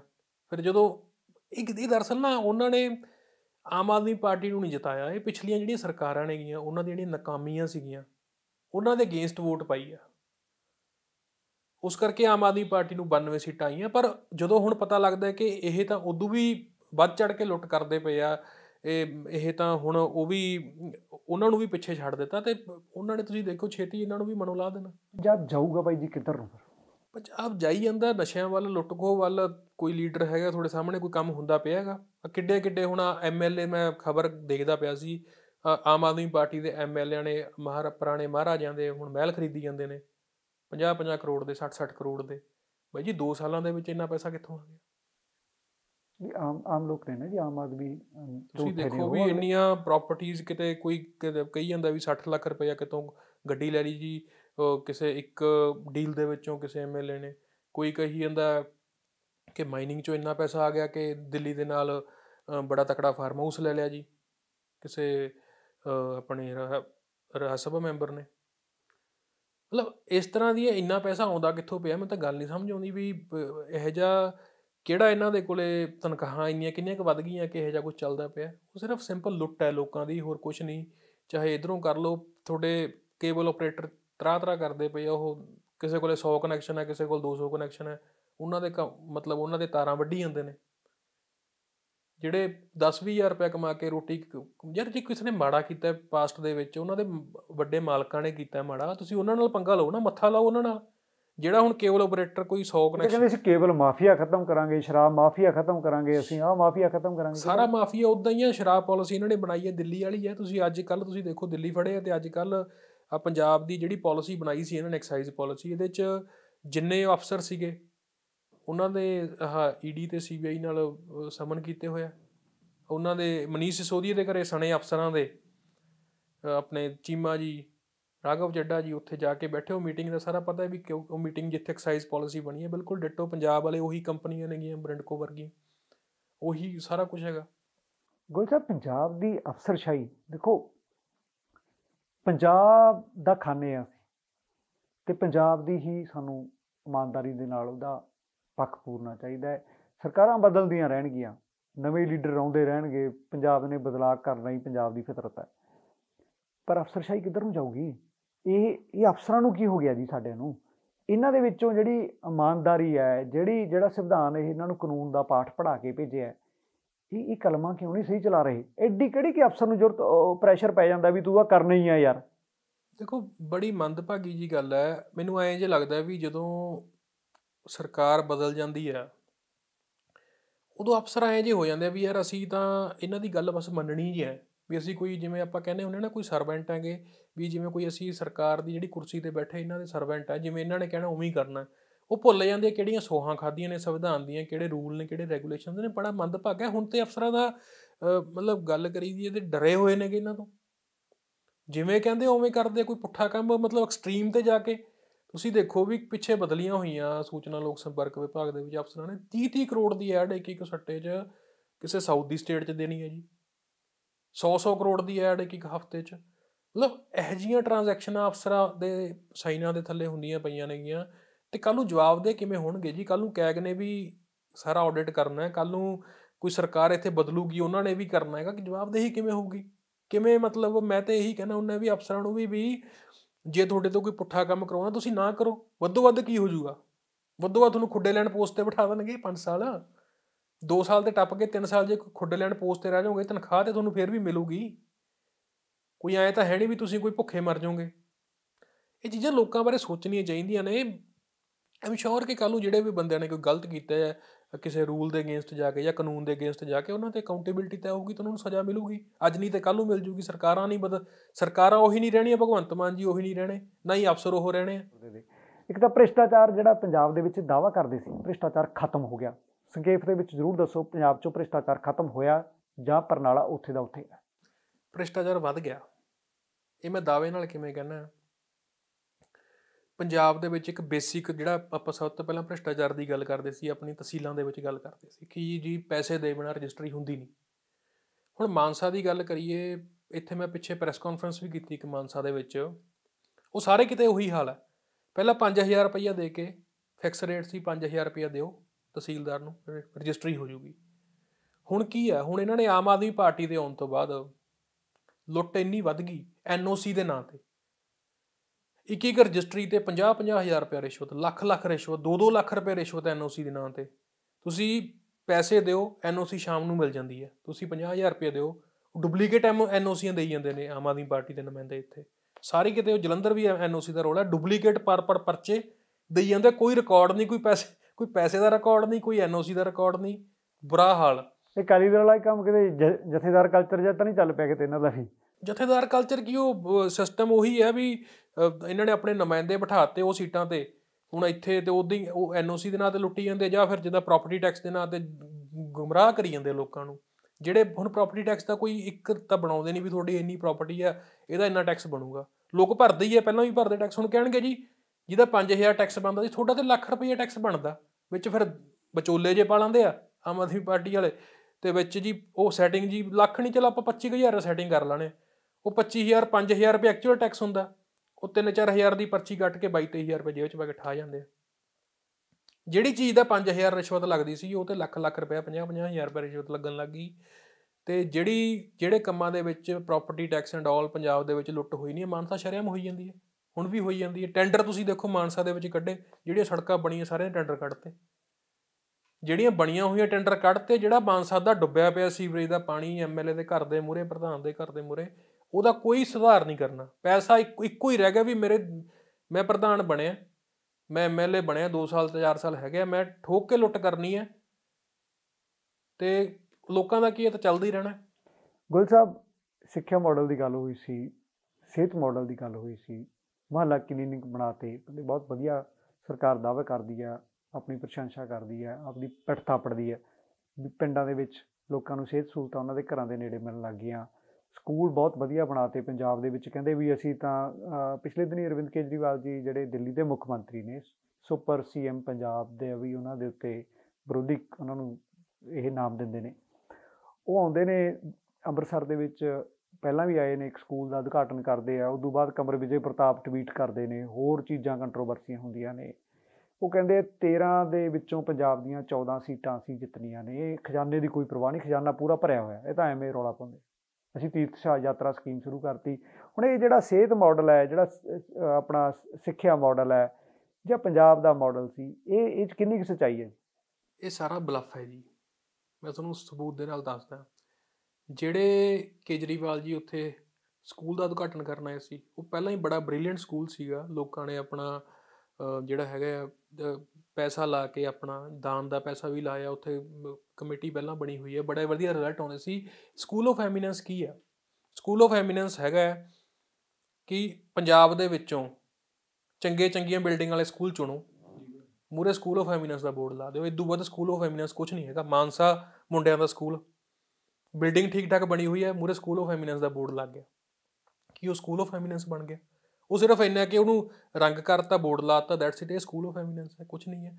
ਉਦੋਂ ਬਾਅਦ ਕਿ ਅਰਵਿੰਦ ਕੇਜਰੀਵਾਲ ਜੀ ਨੇ ਇੱਥੇ ਮਾਤਾ ਕੁਸ਼ਲਿਆ ਹਸਪਤਾਲ ਇੱਥੇ ਉਦਘਾਟਨ ਕਰਨਾ ਹੈ ਪਟਿਆਲੇ। ਇੱਥੇ ਉਹੀ ਗੱਲ ਫੇਰ ਹੋਈ। ਸਟਾਫ ਤੱਕ ਨਹੀਂ ਹੈਗਾ ਸੀ ਉੱਥੇ, ਮਸ਼ੀਨਾਂ ਤੱਕ ਨਹੀਂ ਹੈਗੀਆਂ ਸੀ। ਸਟਾਫ ਦੋ ਦਿਨ ਦੇ ਲਈ ਕਿਤੇ ਬਾਹਰਲੇ ਹਸਪਤਾਲਾਂ ਤੋਂ ਬੁਲਾਇਆ ਕਿ ਇੱਥੇ ਉਦਘਾਟਨ ਕਰਨਾ ਉੱਥੇ ਸਟਾਫ ਲਾਇਆ ਗਿਆ। ਮੈਂ ਬਕਾਇਦਾ ਰਿਕਾਰਡ ਦੇ ਵਿੱਚ ਇਹ ਕੀਤਾ। ਤੇ ਉਹਨੂੰ ਇੱਕ ਬੋਗਸ ਜਾਂ ਮਾਡਲ ਇਹਨਾਂ ਨੇ ਕੀ ਕੀਤਾ ਵੀ ਹੁਣ ਰੈਲੀਆਂ ਚੱਲਦੀਆਂ ਪਈਆਂ ਬੇਸਿਕਲੀ ਪੰਜਾਬ ਦੇ ਵਿੱਚ। ਪੰਜਾਬ ਦੇ ਵਿੱਚ ਲੋਕ ਸਭਾ ਵੋਟਾਂ ਵਾਸਤੇ ਆਮ ਆਦਮੀ ਪਾਰਟੀ ਦੀਆਂ ਰੈਲੀਆਂ ਚੱਲਦੀਆਂ ਪਈਆਂ। ਇਹ ਬਹਾਨਾ ਬਣਾਉਂਦੇ ਆ ਹਰ ਵਾਰੀ ਕਿ ਅਸੀਂ ਇੱਕ ਸਕੂਲ ਦਾ ਉਦਘਾਟਨ ਕਰਨਾ ਹੈ ਕੇਜਰੀਵਾਲ ਨੂੰ ਬੁਲਾ ਲਓ ਜੀ। ਅਸੀਂ ਇੱਕ ਹਸਪਤਾਲ ਦਾ ਉਦਘਾਟਨ ਕਰਨਾ ਹੈ ਕੇਜਰੀਵਾਲ ਨੂੰ ਬੁਲਾ ਲਓ ਜੀ। ਅਸੀਂ ਇੱਕ ਗੁਰਦਾਸਪੁਰ ਬੱਸ ਸਟੈਂਡ ਦਾ ਉਦਘਾਟਨ ਕਰਨਾ ਹੈ ਕੇਜਰੀਵਾਲ ਨੂੰ ਬੁਲਾ ਲਓ। ਉਸ ਨੂੰ ਰਾਜ ਰਾਜ ਸਮਾਗਮ ਦਾ ਨਾਂ ਦੇ ਦਿੱਤਾ ਜਾਂਦਾ। ਇਹ ਬੜੀ ਵੱਡੀ ਗੱਲ ਹੈ ਤੁਹਾਨੂੰ ਮੈਂ ਦੱਸਣ ਜਾ ਰਿਹਾ ਉਹ ਮੈਂ ਪਰੌਂਠੇ ਵਾਲਾ ਪਿਛਲੇ ਦਿਨ ਇੱਕ ਅਫਸਰ ਮੇਰੇ ਕੋਲ ਰੋਂਦਾ ਪਿਆ ਜੀ ਕਹਿੰਦਾ ਯਾਰ ਉਹ ਚਲੋ ਮਿੱਤਰ ਹੈ ਪਿਆਰੇ ਅਫਸਰ ਸਾਡੇ ਕੋਲੇ ਅੰਦਰਲੀ ਗੱਲ ਨਹੀਂ ਪਰੌਂਠੇ ਵਾਲੀ ਗੱਲ ਵੀ ਦੱਸੋ ਪਹਿਲਾਂ ਤੁਹਾਨੂੰ ਮੈਂ ਰੈਲੀ ਦੀ ਗੱਲ ਦੱਸਦਾ ਕਿ। ਵੱਡਾ ਫਰਾਡ ਪੰਜਾਬ ਦੇ ਨਾਲ ਕਿਵੇਂ ਹੁੰਦਾ ਪਿਆ। ਇਹਨਾਂ ਨੇ ਪਟਿਆਲੇ ਕੀਤਾ ਧੂਰੀ ਕੀਤਾ ਉਦੋਂ ਪਹਿਲਾਂ ਅੰਮ੍ਰਿਤਸਰ ਕੀਤਾ ਹੁਣ ਗੁਰਦਾਸਪੁਰ ਕੀਤਾ। ਇਹ ਕੀ ਕਰਦੇ ਆ? ਤੁਸੀਂ ਦੇਖੋ ਇੱਕ ਬਹਾਨਾ ਜਿਹਾ ਬਣਾ ਲੈਂਦੇ ਆ ਕਿ ਅਸੀਂ ਉਦਘਾਟਨ ਕਰਨਾ ਜੀ। ਅਸੀਂ 500 ਕਰੋੜ ਦੇ ਕੰਮਾਂ ਦਾ ਉਦਘਾਟਨ ਕਰਨਾ। ਹੁਣ ਸਰਕਾਰ ਚੱਲਦੀ ਹੈ ਵਿੱਚੋਂ ਪੈਸੇ ਤਾਂ ਲੱਗਦੇ ਆ ਉਦਘਾਟਨ ਕਰਨਾ ਠੀਕ ਹੈ। ਉਸ ਤੋਂ ਬਾਅਦ ਇਹ ਰੈਲੀ ਰੱਖ ਲੈਂਦੇ ਆ। ਸਾਰੇ ਪੰਜਾਬ ਚੋਂ ਪੰਜਾਬ ਰੋਡਵੇਜ ਦੀਆਂ ਬੱਸਾਂ ਉਸ ਦਿਨ ਬੁੱਕ ਹੋ ਜਾਂਦੀਆਂ ਨੇ। ਲੋਕ ਖੱਜਲ ਹੁੰਦੇ ਪਏ ਅੱਡਿਆਂ ਦੇ ਵਿੱਚ ਬੱਸ ਅੱਡਿਆਂ ਦੇ ਵਿੱਚ ਬੱਸਾਂ ਨਹੀਂ ਜਾਂਦੀਆਂ ਰੈਲੀ ਤੇ ਜਾਂਦੀਆਂ ਨੇ। ਉਹ ਸਾਰਾ ਪੈਸਾ ਪੰਜਾਬ ਦਾ ਲੱਗਿਆ। ਰੋਟੀਆਂ ਫੂਡ ਫੂਡ ਸਪਲਾਈ ਵਾਲੇ ਵੰਡਦੇ ਫਿਰਦੇ ਪਰੌਂਠੇ ਜਿਵੇਂ ਤੁਸੀਂ ਕਿਹਾ ਸੀਗਾ। ਉਹ ਡਿਪਾਰਟਮੈਂਟ ਉਹ ਵੀ ਪੰਜਾਬ ਸਰਕਾਰ ਦਾ ਪੈਸਾ ਲੱਗਿਆ। ਟੈਂਟ ਇਹਨਾਂ ਨੇ ਦਿੱਲੀੋਂ ਕਰਾਇਆ ਹੋਇਆਗਾ ਕਰੋਨਾ ਰੁਪਏ ਲੱਗਦਾ ਇੱਕ ਇੱਕ ਰੈਲੀ ਦਾ ਟੈਂਟ ਕੱਲੇ ਟੈਂਟ ਦਾ। ਦਿੱਲੀ ਵੀ ਹੁੰਦਾ ਸਾਰਾ ਦਿੱਲੀ ਉਹ ਟੈਂਟ ਵਾਲਾ ਸਿਸਟਮ ਸਾਰਾ ਪੰਜਾਬ 'ਚ ਹੈ ਨਹੀਂ ਜੀ ਆਪਣੇ ਰੈਂਟ ਰੂਟ ਪੰਜਾਬ 'ਚ ਇਹਨਾਂ ਨੂੰ ਦਿਖਦੇ ਨਹੀਂ ਟੈਂਟ ਕੋਈ। ਦਿੱਲੀ ਦੀ ਕੰਪਨੀ ਨੂੰ ਠੇਕਾ ਦਿੱਤਾ ਹੋਇਆ। ਕਰੋੜਾਂ ਦਾ ਟੈਂਟ ਹਰ ਰੈਲੀ ਦੇ ਵਿੱਚ ਲੱਗਦਾ ਉਹ। ਤੇ ਉਸੇ ਤਰੀਕੇ ਕੁਰਸੀਆਂ ਕਰਸੀਆਂ ਸਾਰਾ ਕੁਝ ਉਹ ਇੱਕ ਜਿਹੜੀ ਪੋਲੀਟੀਕਲ ਰੈਲੀ ਹੈ ਇਹਨਾਂ ਨੇ ਲੋਕ ਸਭਾ ਦੀਆਂ ਵੋਟਾਂ ਵਾਸਤੇ ਕਰਨੀ ਹੈ ਅਲੱਗ-ਅਲੱਗ ਇਲਾਕਿਆਂ ਦੇ ਵਿੱਚ ਉਹਨੂੰ ਅਗਲੀ ਲੁਧਿਆਣੇ ਆ ਜਿਹੜੀ ਪਾਰਟੀ ਲੈਵਲ ਤੇ ਹੁੰਦੀ ਜਿਹੜੀ ਪਾਰਟੀ ਲੈਵਲ ਤੇ ਪੈਸੇ ਲਾਉਣੇ ਹੁੰਦੇ ਆ ਉਹਨੂੰ ਰਾਜ ਰਾਜ ਸਮਾਗਮ ਦਾ ਨਾਂ ਦੇ ਦਿੱਤਾ ਜਾਂਦਾ ਰਾਜ ਸਮਾਗਮ ਦਾ ਨਾਂ ਦੇ ਕੇ ਜਿਹੜਾ 20-25 ਕਰੋੜ ਰੁਪਏ ਰੈਲੀ ਤੇ ਲੱਗਣਾ ਹੁੰਦਾ ਉਹ ਸਾਰਾ ਪੰਜਾਬ ਦੇ ਖਜ਼ਾਨੇ ਚੋਂ। ਕਿੱਡਾ ਵੱਡਾ ਸਕੈਮ ਹੈ। ਪਾਰਟੀ ਵਾਸਤੇ ਰੈਲੀਆਂ ਕਰਦੇ ਪਏ ਆ ਵੋਟਾਂ ਵਾਸਤੇ ਰੈਲੀਆਂ ਕਰਦੇ ਪਏ ਆ। ਉਹਨੂੰ ਬਹਾਨਾ ਬਣਾ ਕੇ ਪੰਜਾਬ ਦੇ ਖਜ਼ਾਨੇ ਦੇ ਵਿੱਚੋਂ ਨਾਲੇ ਤਾਂ ਲੋਕ ਖੱਜਲ ਹੁੰਦੇ ਅੱਡਿਆਂ ਦੇ ਵਿੱਚ ਨਾਲ ਜਿਹੜਾ ਕਰੋੜਾਂ ਰੁਪਈਆ ਲਾਉਂਦੇ ਉਹ ਪੰਜਾਬ ਦੇ ਖਜ਼ਾਨੇ ਚੋਂ ਲਾਈ ਜਾਂਦੇ ਆ। ਇਹੀ ਇਹਨਾਂ ਦਾ ਮਾਡਲ ਹੈਗਾ। ਉਸ ਤੋਂ ਬਾਅਦ ਜਿਹੜਾ ਤੁਸੀਂ ਸਿਹਤ ਮਾਡਲ ਮੈਂ ਤੁਹਾਡੀ ਇੱਕ ਗੱਲ ਵੀ ਐਡ ਕਰਾਂ ਜੀ ਸੌਰੀ। ਤੁਸੀਂ ਨੈਕਸਟ ਕੰਟੀਨਿਊ ਕਰਿਓ। ਇਹ ਬਾਦਲ ਵੀ ਇਹੀ ਕੁਝ ਕਰਦੇ ਰਹੇ ਆ ਕਾਂਗਰਸੀ ਵੀ ਇਹੀ ਕੁਝ ਕਰਦੇ ਰਹੇ ਆ। ਦੇਖੋ ਬਾਦਲਾਂ ਦੇ ਪਰ ਬਦਲਾਅ ਇਹਦੇ ਵਿੱਚ ਕੀ ਕੁਝ ਤਾਂ ਫ਼ਰਕ ਹੋਊਗਾ ਨਾ। ਬਾਦਲਾਂ ਦੇ ਵਿੱਚ ਉਹਨਾਂ ਨੇ ਬੱਸਾਂ ਵਗਾਰਾਂ ਤੇ ਸੁਣਦੇ ਸੀ ਵੀ ਵਗਾਰਾਂ ਪਾਤੀਆਂ ਸਕੂਲ ਨੂੰ ਵਗਾਰ ਪਾਤੀ। ਜਾਂ ਵਗਾਰ ਤੇ ਬੱਸ ਆ ਗਈ ਤੇਲ ਪਵਾਤਾ ਪ੍ਰਾਈਵੇਟ ਬੱਸਾਂ ਵਾਲੇ ਨੂੰ ਪ੍ਰਾਈਵੇਟ ਬੱਸਾਂ ਵਾਲਿਆਂ ਨੂੰ। ਉਹਨਾਂ ਦੀ ਆਪਦੀਆਂ ਤਾਂ ਨਹੀਂ ਆਪਦੀਆਂ ਉਹ ਸਰਕਾਰੀ ਬੱਸਾਂ ਤਾਂ ਕੋਈ ਲੈ ਕੇ ਨਹੀਂ ਗਿਆ ਸੀ ਯਾਰ ਰੈਲੀਆਂ ਦੇ ਵਿੱਚ। ਮਤਲਬ ਤੁਸੀਂ ਦੇਖੋ ਵੀ 1200 ਬੱਸ ਹੈ। 1100 ਬੱਸ ਰੈਲੀ ਤੇ ਫਿਰਦੀ ਹੁੰਦੀ ਇਹਨਾਂ ਦੀ। 2200 ਬੱਸ ਹੈ ਤਾਂ 2000 ਬੱਸ ਰੈਲੀ ਤੇ ਫਿਰਦੀ ਹੁੰਦੀ ਹੈ। ਅੱਡੇ ਖਾਲੀ ਹੋ ਜਾਂਦੇ ਨੇ ਉਹਦੇ ਇਕੱਲੇ ਪ੍ਰਾਈਵੇਟ ਬੱਸਾਂ ਵਾਲੇ ਰਹਿ ਜਾਂਦੇ ਨੇ ਉੱਥੇ। ਹੈਲੀਕਾਪਟਰ ਵੀ ਉੱਥੇ ਤਾਰਨੇ ਹੁੰਦੇ ਆ ਜੀ ਕਹਿੰਦੇ। ਹੈਲੀਕਾਪਟਰ ਉਤਰੇ ਅੱਡੇ ਦੇ ਵਿੱਚ। ਭਗਵੰਤ ਮਾਨ ਜੀ ਕਹਿੰਦੇ ਸੀਗੇ ਕਿ ਚਿੜੀ ਦੇ ਪੰਜੇ ਜਿੰਨਾ ਪੰਜਾਬ ਹੈ ਹੈਲੀਕਾਪਟਰ ਦੀ ਤਾਂ ਲੋੜ ਹੀ ਨਹੀਂ 3 ਘੰਟੇ 'ਚ ਕਿਤੇ ਹੀ ਪਹੁੰਚ ਜੇ। ਹੁਣ ਅੱਡੇ 'ਚ ਹੀ ਹੈਲੀਕਾਪਟਰ ਤਾਰ ਲਿਆ ਕਿ ਤੁਰਨਾ ਨਾ ਪਵੇ ਜਾਂ ਕੋਈ ਗੱਡੀ 'ਚ ਨਾ ਜਾਣਾ ਪਵੇ ਮਾੜਾ ਮੋਟਾ। ਬਾਹਰ ਝੰਡੇ ਝੁੰਡੇ ਵਾਲੇ ਵੀ ਖੜੇ ਹੁੰਦੇ ਨੇ ਕਹਿੰਦੇ। ਬੁਰਾ ਹਾਲ ਹੈ ਜੀ। ਜਿਹੜਾ ਹੁਣ ਤੁਸੀਂ ਆਹ ਹੈਲਥ ਮਾਡਲ ਦੀ ਗੱਲ ਕਰਦੇ ਹੋ ਜਿੰਨੇ ਪੰਜਾਬ ਦੇ ਵਿੱਚ ਹਸਪਤਾਲ ਸੀ ਛੋਟੇ ਜਿਹਨੂੰ ਆਪਾਂ ਪੀਐਚਸੀ ਕਹਿੰਦੇ ਸੀ ਪ੍ਰਾਇਮਰੀ ਹੈਲਥ ਸੈਂਟਰ ਸੀਐਚਸੀ ਜਾਂ ਡਿਸਪੈਂਸਰੀਆਂ ਉਹ ਬੰਦ ਕਰਕੇ ਉਹ ਕੋਈ 12 ਕਮਰਿਆਂ ਦਾ ਸੀਗਾ ਕੋਈ 10 ਕਮਰਿਆਂ ਦਾ ਸੀ ਕਿਤੇ 10 ਡਾਕਟਰ ਸੀ ਕਿਤੇ 15 ਡਾਕਟਰ ਸੀ ਇੱਕ ਇੱਕ ਕਮਰੇ ਦੇ ਮੁਹੱਲਾ ਕਲੀਨਿਕ ਬਣਾਤੇ ਉੱਥੇ ਹੀ। ਉਹ ਕੋਈ 2 ਵਜੇ ਬੰਦ ਹੋ ਜਾਂਦਾ ਕੋਈ 3 ਵਜੇ ਬੰਦ ਹੋ ਜਾਂਦਾ ਉਹ ਵੀ ਲੋਟਾ ਤੁਹਾਨੂੰ ਮੈਂ ਪਿਛਲੇ ਦਿਨ ਹੀ ਖੁਲਾਸਾ ਕੀਤਾ ਸੀ। ਇੱਕ ਮੁਹੱਲਾ ਕਲੀਨਿਕ ਦੇ ਵਿੱਚ 5-6 ਘੰਟਿਆਂ ਦੇ ਵਿੱਚ 300 ਕਹਿੰਦੇ ਸੀ 300 ਮਰੀਜ਼ ਦੇਖਤਾ ਇੱਕ ਡਾਕਟਰ ਨੇ। 5-6 ਘੰਟੇ ਚ ਹਾਂ। ਐਡੀ ਕਿਹੜੀ ਨਬਜ ਚੱਕਣ ਵਾਲੀ ਸਕੀਮ ਆ ਖੰਨੇ ਦੀ ਗੱਲ। ਤੇ ਉਹ ਉਹਦੇ ਵਿੱਚ ਉਹਨੇ ਰੋਟੀ ਵੀ ਖਾਧੀ ਹੈ ਚਾਹ ਵੀ ਪੀਤੀ ਹੈ ਤਾਂ ਦੋ ਤਿੰਨ ਵਾਰੀ ਉਹ ਆਇਆ ਵੀ ਹੋਊਗਾ ਰੈਸਟ ਵੀ ਕੀਤਾ ਸਾਰਾ ਕੁਝ ਕੀਤਾ। ਉਹ 5 ਘੰਟਿਆਂ ਦੇ ਵਿੱਚੋਂ 3-4 ਘੰਟਿਆਂ ਦੇ ਵਿੱਚ ਕਹਿੰਦੇ ਅਸੀਂ 302 ਮਰੀਜ਼ ਦੇਖਤੇ ਡਾਕਟਰ ਨੇ ਜੀ। ਇਸੇ ਤਰੀਕੇ 200 ਵਾਲੇ ਕਈ ਕੇਸ ਸੀਗੇ ਇਸੇ ਤਰੀਕੇ 150 200 250 ਵਾਲੇ ਕਈ ਕੇਸ ਸੀ। ਉਹ ਮਸਲਾ ਹੀ ਦੱਬਤਾ ਜੀ। ਕੋਈ ਅਕਾਊਂਟੇਬਿਲਟੀ ਨਹੀਂ ਕੁਝ ਨਹੀਂ। ਉਹ ਡਾਕਟਰ ਹੁਣ ਠੇਕੇ ਸਿਸਟਮ ਤੇ ਰੱਖਿਆ 50 ਰੁਪਏ ਮਰੀਜ਼ ਦੇ ਹਿਸਾਬ ਨਾਲ ਉਹ ਵਧਾਈ ਜਾਂਦੇ ਆ। ਵਿੱਚ ਹੋ ਸਕਦਾ ਮੈਂ ਸੁਣਿਆ ਸੀਗਾ ਵੀ ਆਮ ਆਦਮੀ ਪਾਰਟੀ ਦੇ ਬੰਦੇ ਵੀ ਰਲੇ ਹੋਏ ਆ। ਉਹ ਵੀ ਉੱਥੇ ਵੀ ਕੰਮ ਚੱਲੀ ਜਾਂਦਾ। ਉੱਥੇ ਤਾਂ ਗੱਲੇ ਗੋਲੀਆਂ ਦਿੰਦੇ ਨੇ ਉਦੋਂ ਬਾਅਦ ਫਿਰ 302 ਡਾਕਟਰ ਨੂੰ ਪੈਸੇ ਮਿਲ ਗਏ 302 ਦੇ ਹਿਸਾਬ ਨਾਲ ਫਾਰਮਾਸਿਸਟ ਨੂੰ ਪੈਸੇ ਮਿਲ ਗਏ। ਉਸੇ ਤਰੀਕੇ ਇੱਕ ਬੰਦੇ ਨੂੰ ਹੋਰ ਪੈਸੇ ਮਿਲ ਗਏ ਉਸੇ ਤਰੀਕੇ ਦਵਾਈਆਂ ਦੇ ਪੈਸੇ ਉਸੇ ਤਰੀਕੇ ਰੁਜ਼ਗਾਰ ਫਿਰ ਇਸ ਤਰੀਕੇ ਨਾਲ ਉਸੇ ਤਰੀਕੇ ਟੈਸਟ ਵਾਲਿਆਂ ਨੂੰ ਵੀ ਪੈਸੇ ਮਿਲ ਗਏ। ਮਤਲਬ ਤੁਸੀਂ ਦੇਖੋ ਇਹ ਹੈਲਥ ਮਾਡਲ ਹੈ। ਉਹ ਜਿਹੜੇ ਹਸਪਤਾਲ ਸੀ ਉਹ ਕਿਤੇ ਡਿਲੀਵਰੀ ਵੀ ਸਾਂਭਦੇ ਸੀ ਕਿਤੇ ਕੋਈ ਟੁੱਟ ਗਿਆ ਹੱਡ ਹੱਡੀ ਹੱਡੀ ਵਾਲੇ ਡਾਕਟਰ ਵੀ ਸੀ ਉੱਥੇ ਦੰਦਾਂ ਵਾਲੇ ਡਾਕਟਰ ਵੀ ਸੀ। ਉਹ ਸਾਰਾ ਜਿਹੜਾ ਲੋਡ ਹੈ ਉਹ ਡਿਸਟ੍ਰਿਕਟ ਹਸਪੀਟਲ ਜਿਹਨੂੰ ਆਪਾਂ ਸਿਵਲ ਹਸਪਤਾਲ ਕਹਿੰਦੇ ਉਹਨਾਂ ਤੇ ਪੈ ਗਿਆ। ਉਹ ਬੁਰਾ ਹਾਲ ਹੋਇਆ ਪਿਆ ਉੱਥੇ ਰਸ਼ ਦੇ ਨਾਲ ਬੁਰਾ ਹਾਲ ਉੱਥੇ ਦਵਾਈਆਂ ਨਹੀਂ ਪੂਰੀਆਂ। ਇਹਨਾਂ ਨੇ ਸਿਸਟਮ ਹੈਲਥ ਸਿਸਟਮ ਕਲੈਪਸ ਕਰਤਾ। ਪਹਿਲਾਂ ਵਧੀਆ ਨਹੀਂ ਸੀ ਮੈਂ ਨਹੀਂ ਕੋਈ ਮੈਂ ਕੋਈ ਐ ਨਹੀਂ ਕਹਿੰਦਾ ਪੰਜਾਬ ਦੇ ਵਿੱਚ ਕੋਈ ਬੜਾ ਤਕੜਾ ਸੀਗਾ। ਪੰਜਾਬ ਇੱਕ ਬਦਲਾ ਲਿਆਂਦਾ ਸੀ ਨਾ ਪੰਜਾਬ ਦੇ ਵਿੱਚ ਇੱਕ ਇਹੋ ਜਿਹੀ ਸਟੇਟ ਹੈ ਜਿੱਥੇ ਸਭ ਤੋਂ ਵੱਡਾ ਢਾਂਚਾ ਬਣਿਆ ਹੋਇਆ ਸੀਗਾ ਹੈਲਥ ਦਾ, ਉਹ ਲੋੜ ਸੀ ਉਹਨੂੰ ਪ੍ਰੋਪਰ ਕੰਮ ਕਰਨ ਦੀ, ਉਹਨੂੰ ਪ੍ਰੋਪਰ ਚਲਾਉਣ ਦੀ, ਉੱਥੇ ਭਰਤੀ ਭਰਤੀ ਕਰਨ ਦੀ, ਉੱਥੇ ਇਕਵਿਪਮੈਂਟ ਲਾਉਣ ਦੀ, ਉੱਥੇ ਦਵਾਈਆਂ ਚੰਗੇ ਤਰੀਕੇ ਨਾਲ ਲਾਉਣ ਦੀ, ਪਰ ਇਹਨਾਂ ਨੇ ਤਾਂ ਹੋਰ ਵੀ ਕਲੈਪਸ ਕਰਤਾ, ਹੁਣ ਜਿਹੜੇ ਬਿਲਡਿੰਗਾਂ ਸੀਗੀਆਂ, ਉਹਨਾਂ ਨੂੰ ਬੰਦ ਕਰਕੇ ਵਿੱਚ ਇੱਕ ਇੱਕ ਕਮਰੇ ਦੇ ਵਿੱਚ ਉਹ ਖੋਲ ਦਿੱਤਾ, ਉਹ ਕੀ ਚੱਲੂਗਾ ਜੀ? ਫੇਲ ਮਾਡਲ ਹੈ ਉਹ, ਪੰਜਾਬ ਦੇ ਵਿੱਚ ਕੋਈ ਚੱਲਣ ਵਾਲੀ ਸਿਸਟਮ ਹੈ, ਉੱਥੇ ਕੀ ਮਿਲਦਾ? 2 ਵਜੇ ਤੱਕ ਖੁੱਲਾ ਹੁੰਦਾ, ਕਿਤੇ ਡਿਸਪੈਂਸਰੀ ਖੁੱਲੀ ਹੁੰਦੀ ਸੀ ਪੂਰਾ ਪੂਰਾ ਟਾਈਮ 2 ਵਜੇ ਤੱਕ ਖੁੱਲਾ ਹੁੰਦਾ ਸਿਸਟਮ ਉਹ ਕੋਈ 3 ਵਜੇ ਤੱਕ ਖੁੱਲਾ ਹੁੰਦਾ, ਗੋਲੀਆਂ ਦਿੰਦੇ ਨੇ ਇਕੱਲੇ ਉੱਥੇ। ਬੁਰਾ ਹਾਲ ਹੋ ਗਿਆ ਪੰਜਾਬ ਦੇ ਵਿੱਚ, ਤੁਸੀਂ ਹੈਲਥ ਸਿਸਟਮ ਮੈਂ ਤੁਹਾਨੂੰ ਦੱਸਦਾ ਵੀ ਜੇ ਹੁਣ ਇਹਨੂੰ ਸਹੀ ਵੀ ਕਰਨਾ ਹੋਵੇ ਨਾ, ਅਗਲੇ 15-20 ਸਾਲ ਨਹੀਂ ਸਹੀ ਹੁੰਦਾ ਇਹ। ਗੁਲ ਸਾਹਿਬ, ਇੱਕ ਸਵਾਲ ਇਹ ਹੈ ਵੀ ਪੰਜਾਬ ਦਾ ਜਿਹੜਾ ਯੂਥ ਹੈ, ਬੜਾ, ਜਿਹੜੇ ਪੰਜਾਬ ਪੱਖੀ ਲੋਕ ਨੇ ਜਾਂ ਪਿੰਡਾਂ ਦੇ ਸਾਡੇ ਹਾਲਾਤ ਬਣਦੇ ਜਾ ਰਹੇ ਨੇ, ਮਤਲਬ ਯੂਥ ਮਾਪਿਆਂ ਨੂੰ ਕਹਿੰਦਾ ਵੀ ਮੈਨੂੰ ਤਾਂ ਬਾਹਰ ਭੇਜ ਦਿਓ ਮੈਂ ਬਾਹਰ ਜਾ ਕੇ ਕੰਮ ਕਰ ਲੂੰਗਾ। ਮਾਪੇ ਵੀ ਇਸ ਤੋਂ ਚਿੰਤਤ ਨੇ ਵੀ ਇੱਥੇ ਨਸ਼ੇ ਨੇ ਇੱਥੇ ਹੋਰ ਜਿਹੜਾ ਕ੍ਰਾਈਮ ਵੱਧ ਗਿਆ, ਹਨਾ, ਜੇ ਸਿੱਧੂ ਮੂਸੇਵਾਲਾ ਵਰਗਾ ਬੰਦਾ ਆਪਣੇ ਮਾਨਸਾ ਦਾ ਹੀ ਸੀ, ਆਪਣੇ ਪਿੰਡਾਂ ਦਾ ਮੁੰਡਾ ਸੀ, ਕਰੋੜ ਰੁਪਈਆ ਸਰਕਾਰ ਨੂੰ ਟੈਕਸ ਦਿੰਦਾ ਸੀ, ਸ਼ਰੇਆਮ 50 ਬੰਦੇ ਆ ਕੇ ਉਹਨੂੰ ਗੋਲੀਆਂ ਮਾਰ ਕੇ ਚਲੇ ਗਏ, ਇਹੋ ਜਿਹੇ ਵੈਪਨ ਯੂਜ਼ ਕੀਤੇ ਗਏ, ਫਿਰ ਗੈਂਗਸਟਰਾਂ ਦੀਆਂ ਇੰਟਰਵਿਊਜ਼ ਹੁੰਦ, ਹੋ ਰਹੀਆਂ ਨੇ, ਜਿਹੜੀਆਂ ਬੜੀਆਂ ਚਰਚਾ ਦੇ ਵਿੱਚ ਜੇਲ੍ਹਾਂ ਚੋਂ ਪਤਾ ਨਹੀਂ ਕੌਣ ਕਰਾਉਂਦਾ ਕੀ ਹੈ, ਉਹਦਾ ਪਿਓ ਅੱਜ ਇਨਸਾਫ ਲਈ ਤੜਫ ਰਿਹਾ ਹੈ, ਮੁੱਖ ਮੰਤਰੀ ਸਾਹਿਬ ਨੂੰ ਮਿਲਣ ਦੀ ਸਮਾਂ ਮੰਗ ਰਿਹਾ ਹੈ। ਕਦੇ ਉਹ ਵਿਧਾਨ ਸਭਾ 'ਚ ਧਰਨਾ ਲਾਉਂਦਾ ਹੈ ਕਦੇ ਉਹ ਜਲੰਧਰ ਇਲੈਕਸ਼ਨ ਦੇ ਵਿੱਚ ਜਾ ਕੇ ਆਪਣਾ ਪ੍ਰਚਾਰ ਕਰਦਾ ਹੈ। ਕੀ ਬਣੂ? ਜੇ ਮੂਸੇ ਵਾਲੇ ਵਰਗਾ ਬੰਦਾ ਜਿਹੜਾ ਕਿ ਆਈਕਨ ਸੀਗਾ ਸਾਡੇ ਮਾਲਵੇ ਦਾ ਚਲੋ ਸਾਡੇ ਵਾਲੇ ਤਾਂ ਉਹਨੂੰ ਨਹੀਂ ਪਛਾਣ ਸਕਦੇ ਆਪਾਂ ਮਾਨਸ ਵਾਲੇ ਵੀ। ਮਾਨਸ ਵਾਲਿਆਂ ਦਾ ਇੱਕ ਸੁਭਾਅ ਹੀ ਆ ਕਹਿੰਦੇ ਵੀ ਆਪਦੇ ਵਾਲੇ ਨੂੰ ਤਾਂ ਘਰ ਦੀ ਦਾਲ ਮੂੰਗੀ ਦੀ ਉਹ ਮੁਰਗੇ ਬਰਾਬਰ ਹੀ ਸਮਝ ਲੈਂਦੇ ਹਨਾ ਜੋ ਕੀ ਕਹਿੰਦੇ ਹੁੰਦੇ ਆ ਘਰ ਤੁਸੀਂ ਦੀ ਮੁਰਗੀ ਦਾਲ ਬਰਾਬਰ। ਹਾਂ ਘਰ ਦੀ ਮੁਰਗੀ ਦਾਲ ਬਰਾਬਰ ਆ। ਤੇ ਚਲੋ ਮਾਨਸ ਵਾਲੇ ਉਹ ਟੈਲੈਂਟ ਗਵਾ ਲਿਆ। ਉਹਦਾ ਉਹਦਾ ਮੁੱਲ ਜੋ ਪੈਣਾ ਚਾਹੀਦਾ ਸੀ, ਨਹੀਂ ਪਿਆ, ਇਹਦਾ ਪਿਓ ਦਾ ਰੰਜ ਹੈ, ਲੋਕ ਵੀ ਕਹਿੰਦੇ ਨੇ। ਤੇ ਯੂਥ ਸਾਡਾ ਕਿੱਧਰ ਨੂੰ ਜਾਊਗਾ ਜੀ ਫਿਰ? ਦੇਖੋ, ਸਰਕਾਰ ਨੇ ਜਿਹੜਾ ਇਹ ਕੰਮ ਕੀਤਾ ਨਾ, ਸਰਕਾਰ ਨੇ ਵੀ ਜਿਹੜਾ ਉਹਤੇ ਪ੍ਰੋਪਰ ਐਕਸ਼ਨ ਨਹੀਂ ਲਿਆ ਜਾਂ ਹਜੇ ਤੱਕ ਕੋਈ ਢਿੱਲ-ਮੱਠ ਚੱਲਦੀ ਪਈ ਹੈ ਸਰਕਾਰ ਦੀ, ਕੋਈ ਕਾਰਵਾਈ ਨਹੀਂ ਹੋ ਰਹੀ ਜਾਂ ਜਿਹੜੇ ਇੰਟਰਵਿਊ ਹੋਇਆ ਉਹਦੀ ਕੋਈ ਅਕਾਊਂਟੇਬਿਲਟੀ ਨਹੀਂ ਹੋਈ ਹਜੇ ਤੱਕ। ਕੋਰਟ ਨੇ ਕਿਹੜੀ ਸਿਆ ਹੋਇਆ ਸਰਕਾਰ ਨੂੰ ਕਿ ਤੁਸੀਂ ਕਿਉਂ ਨਹੀਂ ਇਹ ਤੇ ਕੁਝ ਕੀਤਾ? ਇਹ ਸਾਰੇ ਕਾਸੇ ਦਾ ਸਰਕਾਰ ਦਾ ਮੂੰਹ ਤੇ ਆਉਣਾ ਨੇ ਉਹ ਕਹਿੰਦੇ ਹੁੰਦੇ ਨੇ ਵੀ ਵਾਲ ਸਿਰ ਦੇ ਵਾਲ ਮੂੰਹ ਤੇ ਹੀ ਆਉਂਦੇ ਨੇ। ਆ ਤੁਸੀਂ ਦੇਖੋ ਵੀ ਜੇ ਉਹਨਾਂ ਉਸ ਕੇਸ ਦੇ ਵਿੱਚ ਕੋਈ ਐਕਸ਼ਨ ਹੋਇਆ ਹੁੰਦਾ ਆ ਗਿੱਪੀ ਗਰੇਵਾਲ ਵਾਲਾ ਕੇਸ ਹੋ ਗਿਆ ਹੋਰ ਕਿੰਨੇ ਰੋਜ਼ ਫਰੋਤੀਆਂ ਦੀਆਂ ਕਾਲਾਂ ਆਉਂਦੀਆਂ ਨੇ ਨਿੱਕੀਆਂ ਨਿੱਕੀਆਂ ਮੰਡੀਆਂ ਦੇ ਵਿੱਚ 5-5 10-10 ਲੱਖ ਦੀਆਂ ਫਰੋਤੀਆਂ ਦੀਆਂ ਕਾਲਾਂ ਜਿਹੜੀਆਂ ਆਉਣ ਲੱਗ ਗਈਆਂ। ਤੇ ਉਹ ਇਸੇ ਉਹ ਸਾਰਾ ਕੁਝ ਉਹ ਸਾਰਾ ਕੁਝ ਇਸੇ ਇਸੇ ਦਾ ਹਿੱਸਾ ਹੈ। ਜਦੋਂ ਇਹ ਚੀਜ਼ਾਂ ਸ਼ੁਰੂ 'ਚ ਕੰਟਰੋਲ ਹੋ ਜਾਂਦੀਆਂ ਤਾਂ ਉਹ ਅੱਗੇ ਨਹੀਂ ਵਧਣੀਆਂ ਸੀਗੀਆਂ। ਪਰ ਇਹ ਤੇ ਕੋਈ ਜੇ ਪ੍ਰੋਪਰ ਐਕਸ਼ਨ ਨਹੀਂ ਹੋਇਆ ਤਾਂ ਇਹ ਹੁੰਦਾ ਪਿਆ ਨਾ। ਹੁਣ ਉਹ ਇੰਟਰਵਿਊ ਹੈ ਬੜੇ ਲੋਕ ਕਹਿੰਦੇ ਕਿ ਬਠਿੰਡਾ ਜੇਲ੍ਹ ਦੇ ਵਿੱਚ ਹੋਇਆ ਉਹ। ਮਤਲਬ ਐਸਆਈਟੀ ਦੀ ਰਿਪੋਰਟ ਉਹ ਹਜੇ ਮੈਂ ਤੱਕ ਤੁਹਾਨੂੰ ਨਹੀਂ ਦੱਸਦਾ ਪਿਆਗਾ ਵੀ ਉਹ ਉੱਥੇ ਬਠਿੰਡਾ ਜੇਲ੍ਹ ਦੇ ਵਿੱਚ ਜਦੋਂ ਸਾਡੇ ਡੀਜੀਪੀ ਨੇ ਇੱਕ ਬਿਆਨ ਦਿੱਤਾ ਸੀਗਾ ਕਿ ਉੱਥੇ ਬੜੀ ਸਿਕਿਉਰਿਟੀ ਹੈ ਜੇਲ੍ਹ ਦੇ ਵਿੱਚ ਫੋਨ ਚੱਲ ਹੀ ਨਹੀਂ ਸਕਦੇ। ਚੈਂਬਰ ਲੱਗੇ ਹੋਏ ਨੇ ਕਹਿੰਦੇ ਮਤਲਬ ਤੇ ਮੈਂ ਹੁਣ ਆਰਟੀਏ ਪਾਈ ਸੀ ਮੇਰੇ ਕੋਲ ਆਰਟੀ ਦੀ ਇਨਫੋਰਮੇਸ਼ਨ ਪਈ ਹੈ। ਉਹ ਕਹਿੰਦੇ ਜੀ ਅਸੀਂ ਉਸ ਮਹੀਨੇ 18 ਮੋਬਾਈਲ ਫੜਿਆ ਜਿਹੜੇ ਮਹੀਨੇ ਉਹ ਇੰਟਰਵਿਊ ਹੋਇਆ। ਤੇ ਉਸ ਉਹ ਮਤਲਬ ਉਹ ਹਰ ਮਹੀਨੇ ਮੋਬਾਈਲ ਫੜੇ ਜਾਂਦੇ ਉੱਥੇ। ਕਿ ਜੈਮਰ ਨਹੀਂ, ਉੱਥੇ ਜੈਮਰ ਚੱਲਦੇ ਨਹੀਂ ਪਏ, ਉੱਥੇ ਜੈਮਰ ਚੱਲ ਲੱਗੇ ਹੋਏ ਆ। ਹੁਣ ਇੱਥੇ ਜੈਮਰ ਲੱਗਿਆ ਹੋਇਆ ਫੋਨ ਕੋ ਲੈ ਕੇ ਆਉਂਗਾ ਇੱਥੇ? ਜੇਲ੍ਹ ਦੇ ਵਿੱਚ ਫੋਨ ਕੋਈ ਜੇ ਕੋਈ ਲੈਂਦਾ, ਪੈਸੇ ਵੀ ਦਿੰਦਾ, ਉਹ ਰਿਸਕ ਵੀ ਲੈਂਦਾ। ਜੇ ਉੱਥੇ ਜੈਮਰ ਲੱਗੇ ਹੋਏ, ਫਿਰ ਉੱਥੇ ਭਾਈ ਕੀ ਸਿਸਟਮ ਹੈ ਉਹਦੇ ਫੋਨ ਫੜੇ ਕਿਵੇਂ ਜਾਂਦੇ ਇਹੀ ਕੋਰਟ ਨੇ ਕਿਹਾ। ਕੋਰਟ ਨੇ ਉਹਨੂੰ ਪਤਾ ਨਹੀਂ ਕਿਹੜੀ ਗੱਲ ਦਾ ਲਿਆਗਾ ਆਰਟੀ ਤੱਕ ਕੀ ਸਿਸਟਮ ਲਿਆਗਾ ਕੋਰਟ ਨੇ ਵੀ ਕਿਹਾ ਵੀ ਭਾਈ ਤੁਸੀਂ ਇਦਾਂ ਕਹਿੰਦੇ, ਉੱਥੇ ਤੱਕ ਫੋਨ ਚੱਲੀ ਜਾਂਦੇ ਨੇ। ਦੱਸੋ ਉਹਦੀ ਕੀ ਰਿਪੋਰਟ ਹੈ ਤੁਹਾਡੇ ਕੋਲੇ? ਕਹਿੰਦੇ ਜੀ ਇਸ ਤਰ੍ਹਾਂ ਰਿਪੋਰਟ ਹੀ ਨਹੀਂ ਬਣਾਈ। ਹੁਣ ਪਿਛਲੇ ਪੇਸ਼ੀ ਸੀਗੀ, ਉੱਥੇ ਕੋਈ ਆਇਆ ਹੀ ਨਹੀਂ ਉਹਨਾਂ ਦਾ, ਜਿਹੜਾ ਬੁਲਾਏ ਸੀਗੇ। ਕੋਈ ਸਾਹਿਬ ਇਹ ਤਾਂ ਮਤਲਬ ਫਿਰ ਯੂਥ ਤਾਂ ਸੁਰੱਖਿਅਤ ਹੈ ਨਹੀਂ ਪੰਜਾਬ 'ਚ। ਕੋਈ ਵੀ ਨਹੀਂ ਸੁਰੱਖਿਅਤ ਹੈਗਾ। ਤੁਸੀਂ ਦੇਖੋ ਵੀ ਕ- ਰੋਜ਼ ਕਿੰਨੇ ਹਮਲੇ ਵੱਧਦੇ ਪਏ ਆ। ਕੋਈ ਦੁਕਾਨਦਾਰ ਬੈਠੇ ਉਹਦੇ ਉੱਤੇ ਕੋਈ ਗੋਲੀ ਮਾਰ ਕੇ ਚਲ ਜਾਂਦਾ ਕੋਈ ਦਾਤਰ ਨਾਲ ਹਮਲਾ ਕਰ ਜਾਂਦਾ ਕੋਈ ਲੁੱਟ ਖੋਹ ਹੁੰਦੀ ਪਈ ਸ਼ਰੇਆਮ। ਆ ਵਪਾਰੀ ਕੋਈ ਕ- ਹੋ ਗਿਆ ਕਿਸੇ ਕਿਸੇ ਦੇ ਪਿੰਡਾਂ ਦੇ ਵਿੱਚ ਉਹ ਫੌਜੀ ਦੇ ਲੁੱਟ ਕੇ ਲੈ ਗਏ ਉਹਨੂੰ ਮਾਰ ਕੇ। ਇਹ ਪੰਜਾਬ ਦੇ ਵਿੱਚ ਤੇ ਵੱਧਦਾ ਹੀ ਜਾ ਰਿਹਾ ਨਾ ਕਲਚਰ ਇਹ। ਜਿਹੜਾ ਕ੍ਰਾਈਮ ਹੈ ਵੱਧਦਾ ਜਾ ਰਿਹਾ ਨਸ਼ਾ ਵੱਧਦਾ ਜਾ ਰਿਹਾ ਕਿਸੇ ਨੂੰ ਰੋਜ਼ਗਾਰ ਮਿਲ ਨਹੀਂ ਰਿਹਾ ਉਹ ਕਾਗਜ਼ਾਂ ਦੇ ਵਿੱਚ ਮੈਂ 20000 ਨੌਕਰੀ ਦਿੱਤੀ 30000 ਨੌਕਰੀ ਦਿੱਤੀ ਪਿਛਲੀ ਸਰਕਾਰ ਦੀਆਂ ਨੌਕਰੀਆਂ ਜਿਹੜੀਆਂ ਕੱਢੀਆਂ ਹੋਈਆਂ ਪ੍ਰੋਫੈਸਰ ਨੇ ਜੀ ਖੁਦਕੁਸ਼ੀ ਵੀ ਕਰ ਲਈ ਉੱਥੇ ਹਾਂ ਹਾਂ ਸਿੱਖਿਆ ਮੰਤਰੀ ਸਿਸਟਮ ਸਾਹਿਬ ਕੀ ਸਿੱਖਿਆ ਮੰਤਰੀ ਬੜਾ ਐਰੋਗੈਂਟ ਬੰਦਾ ਉਹ ਸਿੱਖਿਆ ਮੰਤਰੀ ਜਿਹੜਾ ਹੈਗਾ ਉਹਨੂੰ ਗੱਲ ਕਰਨ ਦੀ ਅਕਲ ਨਹੀਂ ਬੰਦੇ ਨੂੰ।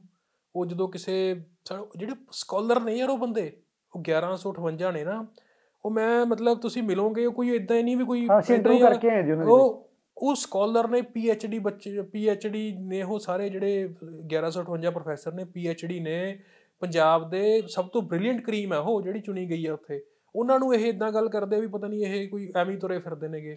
ਯਾਰ ਉਹਨਾਂ ਦੀ ਭਰਤੀ ਹੋਈ ਹੈ, ਉਹਨਾਂ ਦੇ ਪ੍ਰੋਪਰ ਇੱਕ ਕੀ ਕਹਿੰਦੇ ਹੁੰਦੇ ਜਿਹੜਾ ਇੱਕ ਕ੍ਰਾਈਟੇਰੀਆ ਉਹਦੇ ਵਿੱਚ ਟੱਪੇ ਆ ਕੋਈ ਉਹਦੇ ਚ ਖਰਾਬੀ ਨਹੀਂ ਜੇ ਕਿਤੇ ਮਾੜੀ ਮੋਟੀ ਕੋਈ ਟੈਕਨੀਕਲ ਫਾਲਟ ਕਿਤੇ ਰਿਹਾ ਹੈ ਪਿਛਲੀ ਕੋਰਟ ਨੂੰ ਜਾ ਕੇ ਉਹਦੇ ਵਿੱਚ ਉਹਦੇ ਚ ਜਾਂ ਠੀਕ ਕਰੋ ਉਹਨੂੰ ਕੋਰਟ ਨੂੰ ਜਾ ਕੇ ਪ੍ਰੋਪਰ ਕੋਰਟ ਦੇ ਵਿੱਚ ਪਰਸੂ ਕਰੋ ਕੇਸ ਉਹਨਾਂ ਦਾ ਤੁਸੀਂ ਤਾਂ ਐ ਕਰਦੇ ਪਿਓ ਜਿਵੇਂ ਕੋਈ ਇਹ ਐਵੇਂ ਤੁਰੇ। ਹਰਜੋਤ ਬੈਂਸ ਦੇ ਘਰ ਦੇ ਮੂਹਰੇ ਜਿਹੜਾ ਉਹ ਰੋਡ ਹੈ ਉੱਥੇ ਬੈਠੇ ਆ ਹੁਣ 90 ਦਿਨਾਂ ਤੋਂ ਬੈਠੇ ਆ ਜਾ ਹੈਂਡੀਕੈਪਟ ਹੈ ਜੀ ਮੈਂ ਇੱਕ ਦੇਖੀ ਕੁੜੀ ਉਹ। ਅਸੀਂ ਉਹਨਾਂ ਦੀ ਇੰਟਰਵਿਊ ਕੀਤੀ। ਉਹ ਉੱਥੋਂ ਹਰਜੋਤ ਬੈਂਸ ਜੀ ਹੁੱਟਰ ਮਾਰ ਕੇ ਟੱਪ ਜਾਂਦੇ ਉਹਨਾਂ ਦੇ ਮੂਹਰੇ ਰੁਕਦੇ ਨਹੀਂ ਉੱਥੇ। ਯਾਰ ਐਡੀ ਕਿੱਡੀ ਕਿ ਤੁਹਾਡੇ ਚ ਉਹ ਆਈ ਹੈ ਵੀ ਇੱਕ ਐਰੋਗੈਂਸ ਆਈ ਹੈ ਕਿ ਤੁਸੀਂ ਹੁੱਟਰ ਮਾਰ ਕੇ ਉੱਥੋਂ ਟੱਪ ਜਾਂਦੇ ਹੋ ਤੇ ਤੁਹਾਨੂੰ ਉਹ ਉਹ ਦਿਖਦੇ ਨਹੀਂ ਪਏ। ਆਪਣੇ ਮਾਨਸਾ ਦੇ ਮੈਡਮ ਅਨਮੋਲ ਗਗਨ ਮਾਨ ਮੰਤਰੀ ਬਣੇ ਨੇ ਜੀ। ਉਹਨਾਂ ਦਾ ਬਿਆਨ ਸੋਸ਼ਲ ਮੀਡੀਆ ਦੇ ਉੱਤੇ ਵੀ ਬੜਾ ਚਰਚਾ 'ਚ ਰਹਿੰਦਾ ਜਦੋਂ ਸਰਕਾਰ ਬਣ, ਬਣੀ ਨਹੀਂ ਸੀ, ਬਦਲਾਅ ਦੀ ਮੰਗ ਹੋ ਰਹੀ ਸੀ ਉਹਨਾਂ ਨੇ ਬੜਾ ਦਾਵਾ ਕੀਤਾ ਸੀ ਕਿ ਅਸੀਂ ਕਿਸਾਨਾਂ ਨੂੰ ਸਾਡੀ ਸਰਕਾਰ ਬਣਦੇ ਹੋ ਵੀ ਸ਼ਾਮ ਤੱਕ ਐਮਐਸਪੀ ਅਸੀਂ ਜਾਰੀ ਕਰ ਦਾਂਗੇ ਇੱਕ ਵਾਰੀ ਹਰ ਸਾਰੀਆਂ ਫਸਲਾਂ ਤੇ ਐਮਐਸਪੀ ਇਹ ਕਿਤੇ ਉਹ ਕਹਿੰਦੇ ਵੀ ਕੇਜਰੀਵਾਲ ਸਾਹਿਬ ਦੀ ਇਹ ਮੈਨੂੰ ਦੱਸਿਆ ਕੇਜਰੀਵਾਲ ਸਾਹਿਬ ਨੇ ਆਪ ਕਿਹਾ। ਮਤਲਬ ਇਹਦਾ ਮਤਲਬ ਦਿੱਲੀ ਵਾਲੇ ਪੰਜਾਬੀਆਂ ਨੂੰ ਵੀ ਗੁੰਮਰਾਹ ਕਰਦੇ ਨੇ ਜਾਂ ਕਰਦੇ ਜੀ ਕਰ- ਕਰਦੇ ਕਰਦੇ। ਆ ਭਈ ਗਮਰਾਹ ਕੀ? ਮੈਂ ਕਹਿੰਦਾ ਭਗਵੰਤ ਮੰਤਰੀ ਸਾਹਿਬ ਨੇ ਬੜੀ ਭਗਵੰਤ ਮਾਨ ਜੀ ਨੂੰ ਪਤਾ ਹੁੰਦੀਆਂ ਅੱਧੀਆਂ ਗੱਲਾਂ। ਤੁਸੀਂ ਆ ਪਿੱਛੇ ਜੇ ਐਗਜ਼ਾਮਪਲ ਦੱਸਦਾ ਚਲੋ ਆਹ ਐਮਐਸਪੀ ਵਾਲੀ ਗੱਲ ਤੇ ਸਾਰਿਆਂ ਨੂੰ ਪਤਾ ਹੀ ਹੈ ਵੀ ਬ- ਗ- ਅਨਮੋਲ ਗਗਨ ਮਾਨ ਜੀ ਨੇ ਕੀ ਬ- ਮਤਲਬ ਇੱਕ ਬਚਕਾਨਾ ਬਿਆਨ ਦਿੱਤਾ ਸੀਗਾ ਗੁੰਮਰਾਹ ਕਰਨ ਦੀ ਕੋਸ਼ਿਸ਼ ਕੀਤੀ ਜਾਂ ਪਿੱਛੇ ਜੇ ਗੱਲ ਹੋਈ ਅ, ਪਾੜਾ ਨੇਗੇ ਮ- ਬਰਿੰਦਰਜੀਤ ਪਾੜਾ ਕਿ ਉਹ ਗੁਰਦਾਸਪੁਰ ਦੇ ਐਮਐਲਏ ਉਹਨਾਂ ਨੇ ਉਹ ਜਿਹੜਾ ਜਿਹੜਾ ਉਦਘਾਟਨ ਕੇਜਰੀਵਾਲ ਜੀ ਕਰਕੇ ਆਏ ਹੈਗੇ ਉਹਨਾਂ ਨੇ ਚਲੋ ਇਨੀਸ਼ੀਏਟਿਵ ਲੈ ਕੇ ਉਹ ਇੱਕ ਬੜਾ ਸੋਹਣਾ ਬਣਾਇਆ ਉਹ ਬੱਸ ਅੱਡਾ। ਅੱਛਾ ਪਾੜਾ ਹੀ ਨਹੀਂ ਬਣਾਇਆ ਸੀ ਹੀ ਪਾੜਾ ਬਣਾਇਆ ਸੀ। ਉਹਨਾਂ ਨੇ ਤਾਂ ਮਤਲਬ ਫੋਟੋਆਂ ਫੋਟੋਆਂ ਪਾਈਆਂ ਨੇਗੀਆਂ ਜਿਹੜੇ ਬੰਦੇ ਜਿਹੜਾ ਕੰਮ ਕੀਤਾ ਉਹਨੂੰ ਐਪਰੀਸ਼ੀਏਟ ਵੀ ਕਰਨਾ ਚਾਹੀਦਾ ਚਲੋ ਵੀ। ਪਰ ਸਰਕਾਰ ਤਾਂ ਆਮ ਆਦਮੀ ਦੀ ਹੈ ਜੀ। ਨਹੀਂ ਨਹੀਂ ਉਹ ਪਿਛਲਾ ਪ੍ਰੋਜੈਕਟ ਹੈ। ਪਿਛਲੀ ਕਾਂਗਰਸ ਸਰਕਾਰ ਵੇਲੇ ਬਣਾਇਆ ਉਹ ਪਿਛਲਾ ਪ੍ਰੋਜੈਕਟ ਹੈ 20 2020 ਵਾਲੇ ਦਾ ਪ੍ਰੋਜੈਕਟ ਹੈ ਉਹ। ਤੇ 20 ਕੇ 21 ਮੇਰੇ ਧਿਆਨ 'ਚ ਨਹੀਂ ਉਹ ਉਹ ਉਹਨਾਂ ਨੇ ਪ੍ਰੋਪਰ ਪੱਥਰ ਪੁੱਥਰ ਚੈੱਕ ਕਰਕੇ ਪ੍ਰੋਪਰ ਸਾਰਾ ਸਿਸਟਮ ਉਹ ਆਪ ਉਹਨੇ ਸ਼ੌਂਕ ਜਿਹਾ ਬਣਵਾਇਆ ਸੀਗਾ। ਤੇ ਚਲੋ ਇੱਕ ਉਹ ਕੱਲ ਦੱਸਦੇ ਪਏ ਸੀ ਮੈਂ ਵੀਡੀਓ ਦੇਖਦਾ ਪਿਆ ਸੀ ਕਿ ਮੈਂ ਮੈਨੂੰ ਸੀਐਮ ਸਾਹਿਬ ਦਾ ਫੋਨ ਆਇਆ। ਮੈਂ ਗੱਲ ਕੀਤੀ, ਚਲੋ ਮੈਂ ਵੀ ਭਾਈ ਇਹ ਤੁਸੀਂ ਉਦਘਾਟਨ ਦਾ ਕਿਉਂ ਕਰਦੇ ਪਏ ਹੋ? ਵੀ ਚਲੋ ਮੇਰਾ ਇਨੀਸ਼ੀਏਟਿਵ ਸੀ। ਮੈਨੂੰ ਕਹਿੰਦੇ ਜੀ ਮੈਂ ਉੱਥੇ ਜਾ ਰਿਹਾ ਉੱਥੇ ਅਸੀਂ ਰੈਲੀ ਕਰਨ ਜਾ ਰਹੇ ਹਾਂ, ਉਦਘਾਟਨ ਨਹੀਂ ਕਰਦੇ। ਅਸੀਂ ਬੱਸ ਅੱਡੇ ਵੱਲ ਨਹੀਂ ਜਾਂਦੇ, ਆਪਾਂ ਇਕੱਠੇ ਉਦਘਾਟਨ ਕਰਾਂਗੇ ਫ- ਫਲਾਣੇ ਦਿਨ ਨੂੰ। ਫਿਰ ਉਹ ਕਹਿੰਦੇ ਜੀ ਉਹ ਉੱਥੇ ਪਹੁੰਚ ਗਏ, ਫਿਰ ਉਹਨਾਂ ਦੇ ਓਐਸਡੀ ਦਾ ਫੋਨ ਆਉਂਦਾ ਕਿ ਕਹਿ ਰਹੇ ਕਿ ਅਸੀਂ ਵਿੱਚ ਗੇੜਾ ਦੇ ਕੇ ਆਉਣੇ ਆ ਪਰ 3 ਮਿੰਟ ਬਾਅਦ ਉਹਦੇ ਫੋਟੋਆਂ ਵੀ ਆ ਗਈਆਂ ਉਦਘਾਟਨ ਦੀਆਂ। ਕਹਿੰਦੇ ਇਹਦਾ ਮਤਲਬ ਇਹ ਹੋਇਆ ਕਿ ਸੀਐਮ ਨੂੰ ਪਤਾ ਹੀ ਨਹੀਂ ਸੀ ਵੀ ਮੈਂ ਉਦਘਾਟਨ ਕਰਨਾ ਹੈ। ਇਹ ਇਹ ਬੜੀ ਚਰਚਾ ਹੈ ਜੀ, ਗੁਲ ਸਾਹਿਬ। ਕਹਿੰਦੇ ਸਾਡੇ ਵਾਲਿਆਂ ਨੂੰ ਦੱਬਣ ਨੂੰ ਫਿਰਦੇ ਸੀ ਹੁਣ ਤਾਂ ਸਾਡੇ ਵਾਲਾ ਮਤਲਬ ਪੰਜਾਬੀ ਇਹ ਕਹਿੰਦੇ ਨੇ ਮਾਨਸਾ ਵਾਲੇ ਦੱਬਣੇ- ਬਠਿੰਡੇ ਵਾਲੇ ਸਾਰੇ ਦੱਬਣ ਦੱਬ ਸਾਰਾ ਕੁਝ ਹੀ ਕਰ ਲਿਆ ਜੀ ਦੱਬਣ ਦੁੱਬਣ ਦੀ ਤਾਂ ਗੱਲ ਪਹਿਲਾਂ ਬੜੀ ਦੂਰ ਰਹਿ ਗਈ ਹੁਣ। ਹੁਣ ਤੇ ਕਿਤੇ ਮੁੱਖ ਮੰਤਰੀ ਦੀ ਕੁਰਸੀ ਤਾਂ ਨਹੀਂ ਖਤਰੇ 'ਚ ਹੋ ਜੂ ਫਿਰ ਇਹਦਾ ਮੁੱਖ ਮੰਤਰੀ ਦੀ ਕੁਰਸੀ ਹੈ ਕਿੱਥੇ?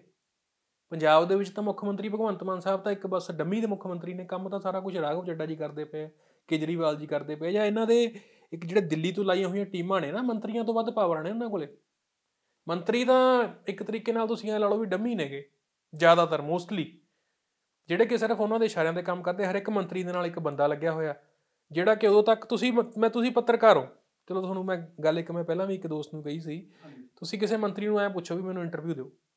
ਨਹੀਂ ਦਿੰਦੇ ਜੀ। ਜਦੋਂ ਤੱਕ ਉਹ ਦਿੱਲੀੋਂ ਉਹ ਕਹਿੰਦੇ ਵੀ ਉੱਪਰੋਂ ਉਹ ਜਦੋਂ ਵੀ ਕਿਸੇ ਨੂੰ ਫੋਨ ਕਰ ਲਓ ਜੀ ਉਹ ਕਹਿੰਦੇ ਜੀ ਸਾਨੂੰ ਪਰਮਿਸ਼ਨ ਨਹੀਂ ਡਾਇਰੈਕਟ ਇੰਟਰਵਿਊ ਦੀ। ਹਾਂ, ਆਫ ਦੀ ਰਿਕਾਰਡ ਸਾਡੇ ਨਾਲ ਗੱਲ ਕਰਦੇ ਨੇ। ਆਫ ਦੀ ਰਿਕਾਰਡ ਕਰਦੇ ਹੋਣਗੇ। ਸਾਰੇ ਮੰਤਰੀ ਕਰ ਲੈਂਦੇ ਨੇ ਕਿਉਂਕਿ ਉਹ ਉਹ ਪੰਜਾਬੀ ਨੇ ਨਾ। ਪੰਜਾਬੀ ਨੇ। ਠੀਕ ਹੈ। ਉਹਨਾਂ ਨੂੰ ਜਦੋਂ ਤੱਕ ਦਿੱਲੀ ਦੇ ਜਿਹੜੀ ਦਿੱਲੀ ਦੀ ਟੀਮ ਹੈਗੀ ਉਹਨਾਂ ਦਾ WhatsApp ਦੇ ਪਰਮਿਸ਼ਨ ਆ ਨਹੀਂ ਜਾਊਗੀ। ਜਦੋਂ ਤੱਕ ਅਦਾਰੇ ਨਾਲ ਤੇ ਪੱਤਰਕਾਰ ਨਾਲ ਗੱਲ ਨਹੀਂ ਜਾਊਗੀ ਉਦੋਂ ਤੱਕ ਉਹਦੇ ਦਿਨ ਇੰਟਰਵਿਊ ਦੇ ਹੀ ਨਹੀਂ ਸਕਦੇ ਉਹ ਅਫੋਰਡ ਹੀ ਨਹੀਂ ਕਰ ਸਕਦੇ। ਵੈਸੇ ਹਾਲ ਬਾਦਲਾਂ ਦਾ ਵੀ ਇਹ ਹੈ। ਜੇ ਸੁਖਬੀਰ ਸਿੰਘ ਬਾਦਲ ਦੀ ਇੰਟਰਵਿਊ ਵੀ ਕਰਨੀ ਹੋਵੇ ਨਾ ਜੀ ਕਦੇ, ਦੇਖੋ ਇਹ- ਇਹ ਬਦਲਾਅ ਤਾਂ ਪੰਜਾਬ ਹੰਢਾ ਰਿਹਾ ਹੈ।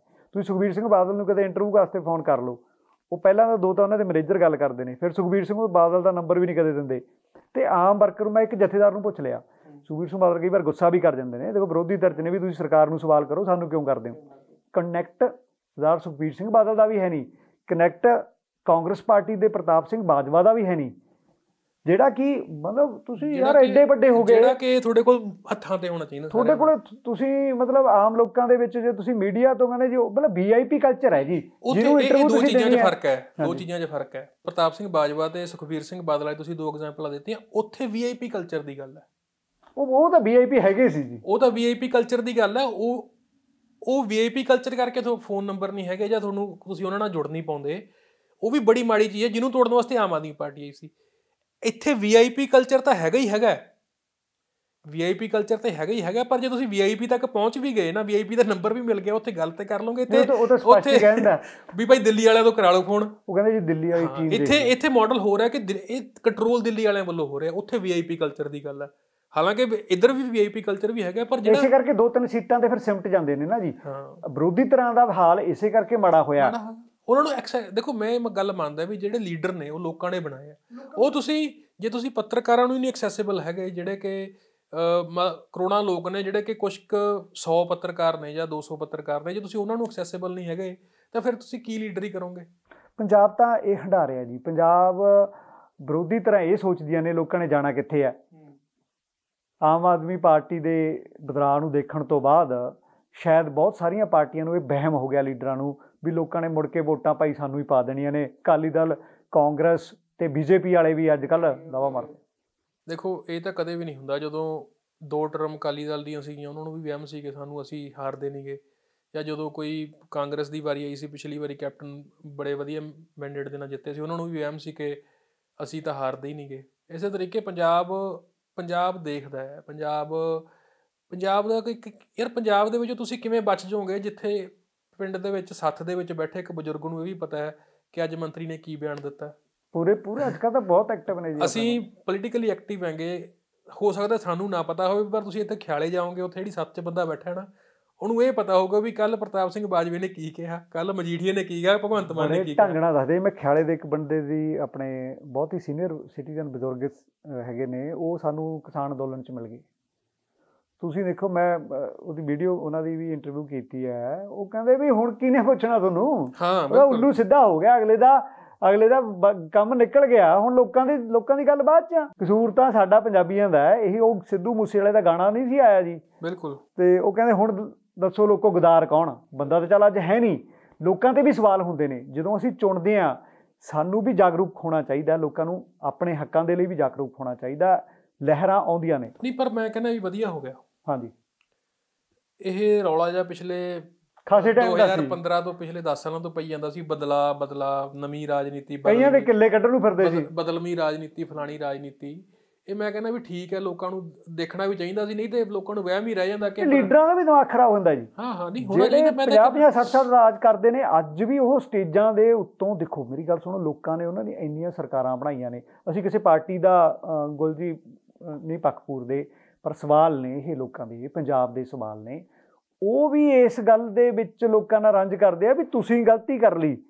ਸਵਾਲ ਲੋਕ ਦੇਖੋ ਜੇ 92 ਸੀਟਾਂ ਪੰਜਾਬ ਨੇ ਦਿੱਤੀਆਂ ਤੇ ਪੰਜਾਬ ਗਲਤ ਸੀ। ਨਹੀਂ ਦੇਖੋ ਪਰ ਉਹ ਐ ਨਹੀਂ ਨਾ ਦੱਸਦੇ ਵੀ ਸਾਡੀਆਂ ਗਲਤੀਆਂ ਸੀ। ਆਪਦੀ ਗਲਤੀ ਨਹੀਂ ਦੱਸਦੇ। ਆਪਦੀ ਗਲਤੀ ਨਹੀਂ ਉਹਨਾਂ ਨੇ ਮੰਨਣੀ ਕਿ ਅਸੀਂ ਗਲਤ ਸੀਗੇ। ਲੋਕਾਂ ਨੇ। ਸਾਨੂੰ ਤਾਂ ਰਿਜੈਕਟ ਕੀਤਾ। ਦੇਖੋ ਇਹ ਇਹ ਗੱਲ ਦੇ ਵਿੱਚ ਤਾਂ ਕੋਈ ਸ਼ੱਕ ਨਹੀਂਗਾ ਕਿ ਲੋਕਾਂ ਨੇ ਆਮ ਆਦਮੀ ਪਾਰਟੀ ਨੂੰ ਵੋਟਾਂ ਨਹੀਂ ਪਾਈਆਂ। ਲੋਕਾਂ ਨੂੰ ਜਸਟ ਇੱਕ ਬਦਲ ਚਾਹੀਦਾ ਸੀ ਚੇਂਜ ਚਾਹੀਦਾ ਸੀ ਕਿਉਂਕਿ ਅੱਕੇ ਹੋਏ ਸੀ ਉਹਨਾਂ ਨੇ ਉਹਨਾਂ ਤੋਂ ਅੱਕੇ ਹੋਏ ਸੀ ਉਹਨਾਂ ਨੇ ਕੀਤਾ ਕੱਖ ਨਹੀਂ ਜੇ ਕੀਤਾ ਤਾਂ ਲੋਕਾਂ ਨੂੰ ਕੁੱਟਿਆ ਲੁੱਟਿਆ ਸਾਰਾ ਕੁਝ ਕੀਤਾ ਉਹ ਉਹਨਾਂ ਤੋਂ ਅੱਕੇ ਹੋਏ ਨੇ ਲੋਕਾਂ ਨੇ ਇਹਨਾਂ ਨੂੰ ਜਿਤਾ ਲਿਆ। ਇਹ ਉਦੋਂ ਵੀ ਮਾੜੇ ਨਿਕਲੇ ਉਹ ਉਹ ਗੱਲ ਅਲੱਗ ਹੈ ਉਹ ਚਲੋ ਲੋਕ ਹੰਡਾ ਰਹੇ ਆ ਤੇ ਲੋਕ ਅੱਗੇ ਉਹਨੂੰ ਇਨਸਾਫ ਕਰ ਲੈਣਗੇ। ਇਨਸਾਫ ਕਰ ਲੈ 3 ਸਾਲ ਦਾ ਸਮਾਂ ਪਰ ਇਹ ਪਿਆ। ਕਹਿ ਦੇਣਾ ਕਿ ਲੋਕਾਂ ਨਹੀਂ ਉਹ ਗਲਤ ਆ ਬਿਲਕੁਲ ਗਲਤ ਆ। ਉਹਨਾਂ ਨੂੰ ਇਹ ਕਹਿਣਾ ਚਾਹੀਦਾ ਵੀ ਅਸੀਂ ਗਲਤ ਸੀ ਤਾਂ ਇਹ ਸੀ। ਲੋਕ ਉਹਨਾਂ ਦੀ ਰੈਲੀਆਂ 'ਚ ਰੰਜ ਦੇਖਣ ਨੂੰ ਮਿਲਦਾ ਸਟੇਜਾਂ ਤੋਂ। ਗੁਲ ਸਾਹਿਬ ਲੋਕ ਫੈਸਲਾ ਕਰ ਲੈਂਦੇ ਨੇ। ਸਰਕਾਰ ਦੀ ਕਾਰਗੁਜ਼ਾਰੀ ਹਜੇ 2 ਸਾਲ ਹੋਏ ਨੇ। ਹਜੇ ਹਨੀਮੂਨ ਪੀਰੀਅਡ ਇਹਨਾਂ ਦਾ ਖਤਮ ਹੋ ਗਿਆ। ਹੋਰ ਇਹਨਾਂ ਨੂੰ ਬਦਲਾਅ ਦੀ ਜਿਹੜੀ ਗੱਲ ਲੈ ਕੇ ਆਏ ਸੀ ਇਹਨਾਂ ਨੂੰ ਕਰਨੀ ਚਾਹੀਦੀ ਸੀ। ਜਿਹੜੇ ਸਵਾਲ ਆਪਾਂ ਕੀਤੇ ਨੇ ਉਠਾਏ ਨੇ ਗੱਲਾਂ ਬਾਤਾਂ ਕੀਤੀਆਂ ਨੇ ਇਹ ਪੰਜਾਬ ਦੇ ਲੋਕਾਂ ਦੀ ਨਬਜ ਹੈ। ਲੋਕ ਦੇਖ ਲੈਣਗੇ 3 ਸਾਲ ਦਾ ਸਮਾਂ। ਜੇ ਕਰਨਗੇ ਆਹ 24 ਦੇ ਵਿੱਚ ਹੀ ਪਤਾ ਲੱਗ ਜੂਗਾ ਬਿਲਕੁਲ ਬਸ ਇੱਥੇ ਦੋ ਤਿੰਨ ਗੱਲਾਂ ਨੇ ਵੀ ਮੈਂ ਲੋਕਾਂ ਨੂੰ ਇਹੀ ਕਹਿਣਾ ਚਾਹੁੰਦਾ ਵੀ ਇੱਕ ਤਾਂ ਤੁਸੀਂ ਸਵਾਲ ਕਰਨੇ ਸ਼ੁਰੂ ਕਰੋ। ਦੇਖੋ ਇੱਕ ਵਾਰੀ ਹੁੰਦਾ ਕੋਈ ਡਰਾਉਂਦਾ ਦੋ ਵਾਰੀ ਹੁੰਦਾ ਕੋਈ ਡਰਾਉਂਦਾ ਤੀਜੀ ਵਾਰੀ ਡਰ ਨਿਕਲ ਜਾਂਦਾ ਬੰਦੇ ਦਾ। ਉਹ ਕੋਈ ਬੜਾ ਵੱਡਾ ਚੱਕਰ ਨਹੀਂ ਜਿਹੜਾ ਤੁਹਾਡਾ ਮਨ 'ਚ ਸਵਾਲ ਹੈ ਕਰੋ ਸਰਕਾਰ ਨੂੰ ਜੇ ਕੋਈ ਡਰਾਉਂਦਾ ਉਹ ਵੀ ਕਰੋ ਯਾਰ ਵੀ ਕਿਉਂ ਡਰਾਉਂਦੇ? ਸਰਕਾਰ ਲੋਕਾਂ ਦੀ ਸਰਕਾਰ ਹੁੰਦੀ ਹੈ ਨਾ ਜੀ ਲੋਕਾਂ ਦੀ ਚੁਣੀ ਹੋਈ ਸਰਕਾਰ ਹੈ। ਸਰਕਾਰ ਲੋਕ ਸਰਕਾਰ ਦੇ ਗਲਤ ਫਹਿਮੀ ਚ ਹੋ ਜਾਂਦੀ ਹੈ। ਹੂੰ। ਵੀ ਉਹ ਸਰਕਾਰ ਹੈ। ਸਰਕਾਰ ਤਾਂ ਲੋਕ ਹੁੰਦੇ ਨੇ। ਉਹ ਲੋਕ ਜੇ ਭਗਵੰਤ ਮਾਨ ਜੀ ਕਹਿੰਦੇ ਹੁੰਦੇ ਸੀ ਵੀ ਲੋਕ ਵੱਡੇ ਹੁੰਦੇ ਲੀਡਰ ਨਹੀਂ ਵੱਡੇ ਹੁੰਦੇ। ਪਰ ਇਹ ਹੁਣ ਆਪਦੇ ਆਪ ਨੂੰ ਵੱਡਾ ਸਮਝੀ ਬੈਠੇ ਹਨਾ ਇਹ ਹੁਣ ਕੋਈ ਪੋਸਟ ਪਾ ਦੇ ਮੈਨੂੰ ਕੱਲ ਦਾ ਸਵਾਲ ਹੈ ਜੀ ਇਸ ਟਾਈਮ ਕੱਲ ਪਰਸੋਂ ਇੱਕ ਲੇਖਕ ਨੇ ਪੋਸਟ ਪਾਈ ਕਿ ਮੈਂ ਇਹਨਾਂ ਦੀ ਤੀਰਥ ਯਾਤਰਾ ਤੇ ਸਵਾਲ ਕੀਤਾ। ਮੈਨੂੰ ਕਿਸੇ ਸੀਐਮ ਦੇ ਬੜੇ ਨਜ਼ਦੀਕੀ ਬੰਦੇ ਦੀ ਧਮਕੀ ਭਰੀ ਫੋਨ ਆ ਗਏ ਕਿ ਦੇਖ ਲਓ ਫਿਰ ਅੱਗੇ ਤੋਂ ਕੀ ਹੋਊਗਾ।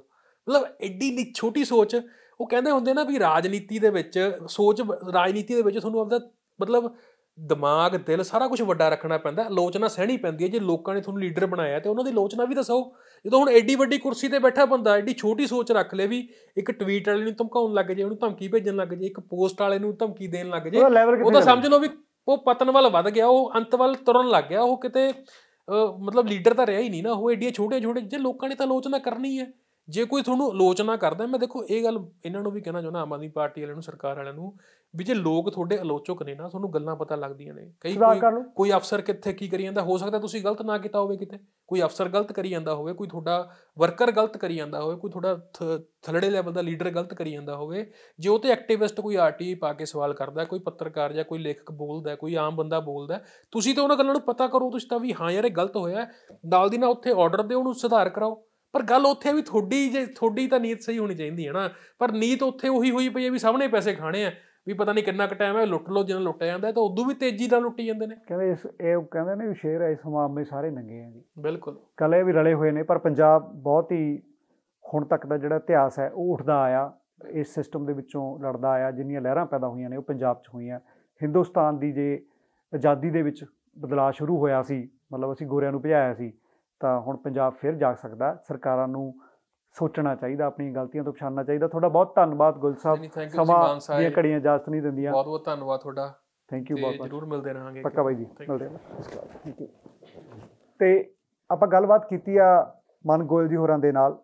ਪੰਜਾਬ ਪ੍ਰਤੀ ਚਿੰਤਤ ਲੋਕ ਨੇ। ਪੰਜਾਬ ਪ੍ਰਤੀ ਸੋਚਦੇ ਨੇ। ਸਰਕਾਰਾਂ ਨੂੰ ਬੁਰਾ ਲੱਗ ਸਕਦਾ ਹੈ ਵਿਰੋਧੀ ਧਿਰਾਂ ਨੂੰ ਬੁਰਾ ਲੱਗ ਸਕਦਾ ਹੈ। ਪਰ ਇਹ ਸੱਚਾਈ ਆ।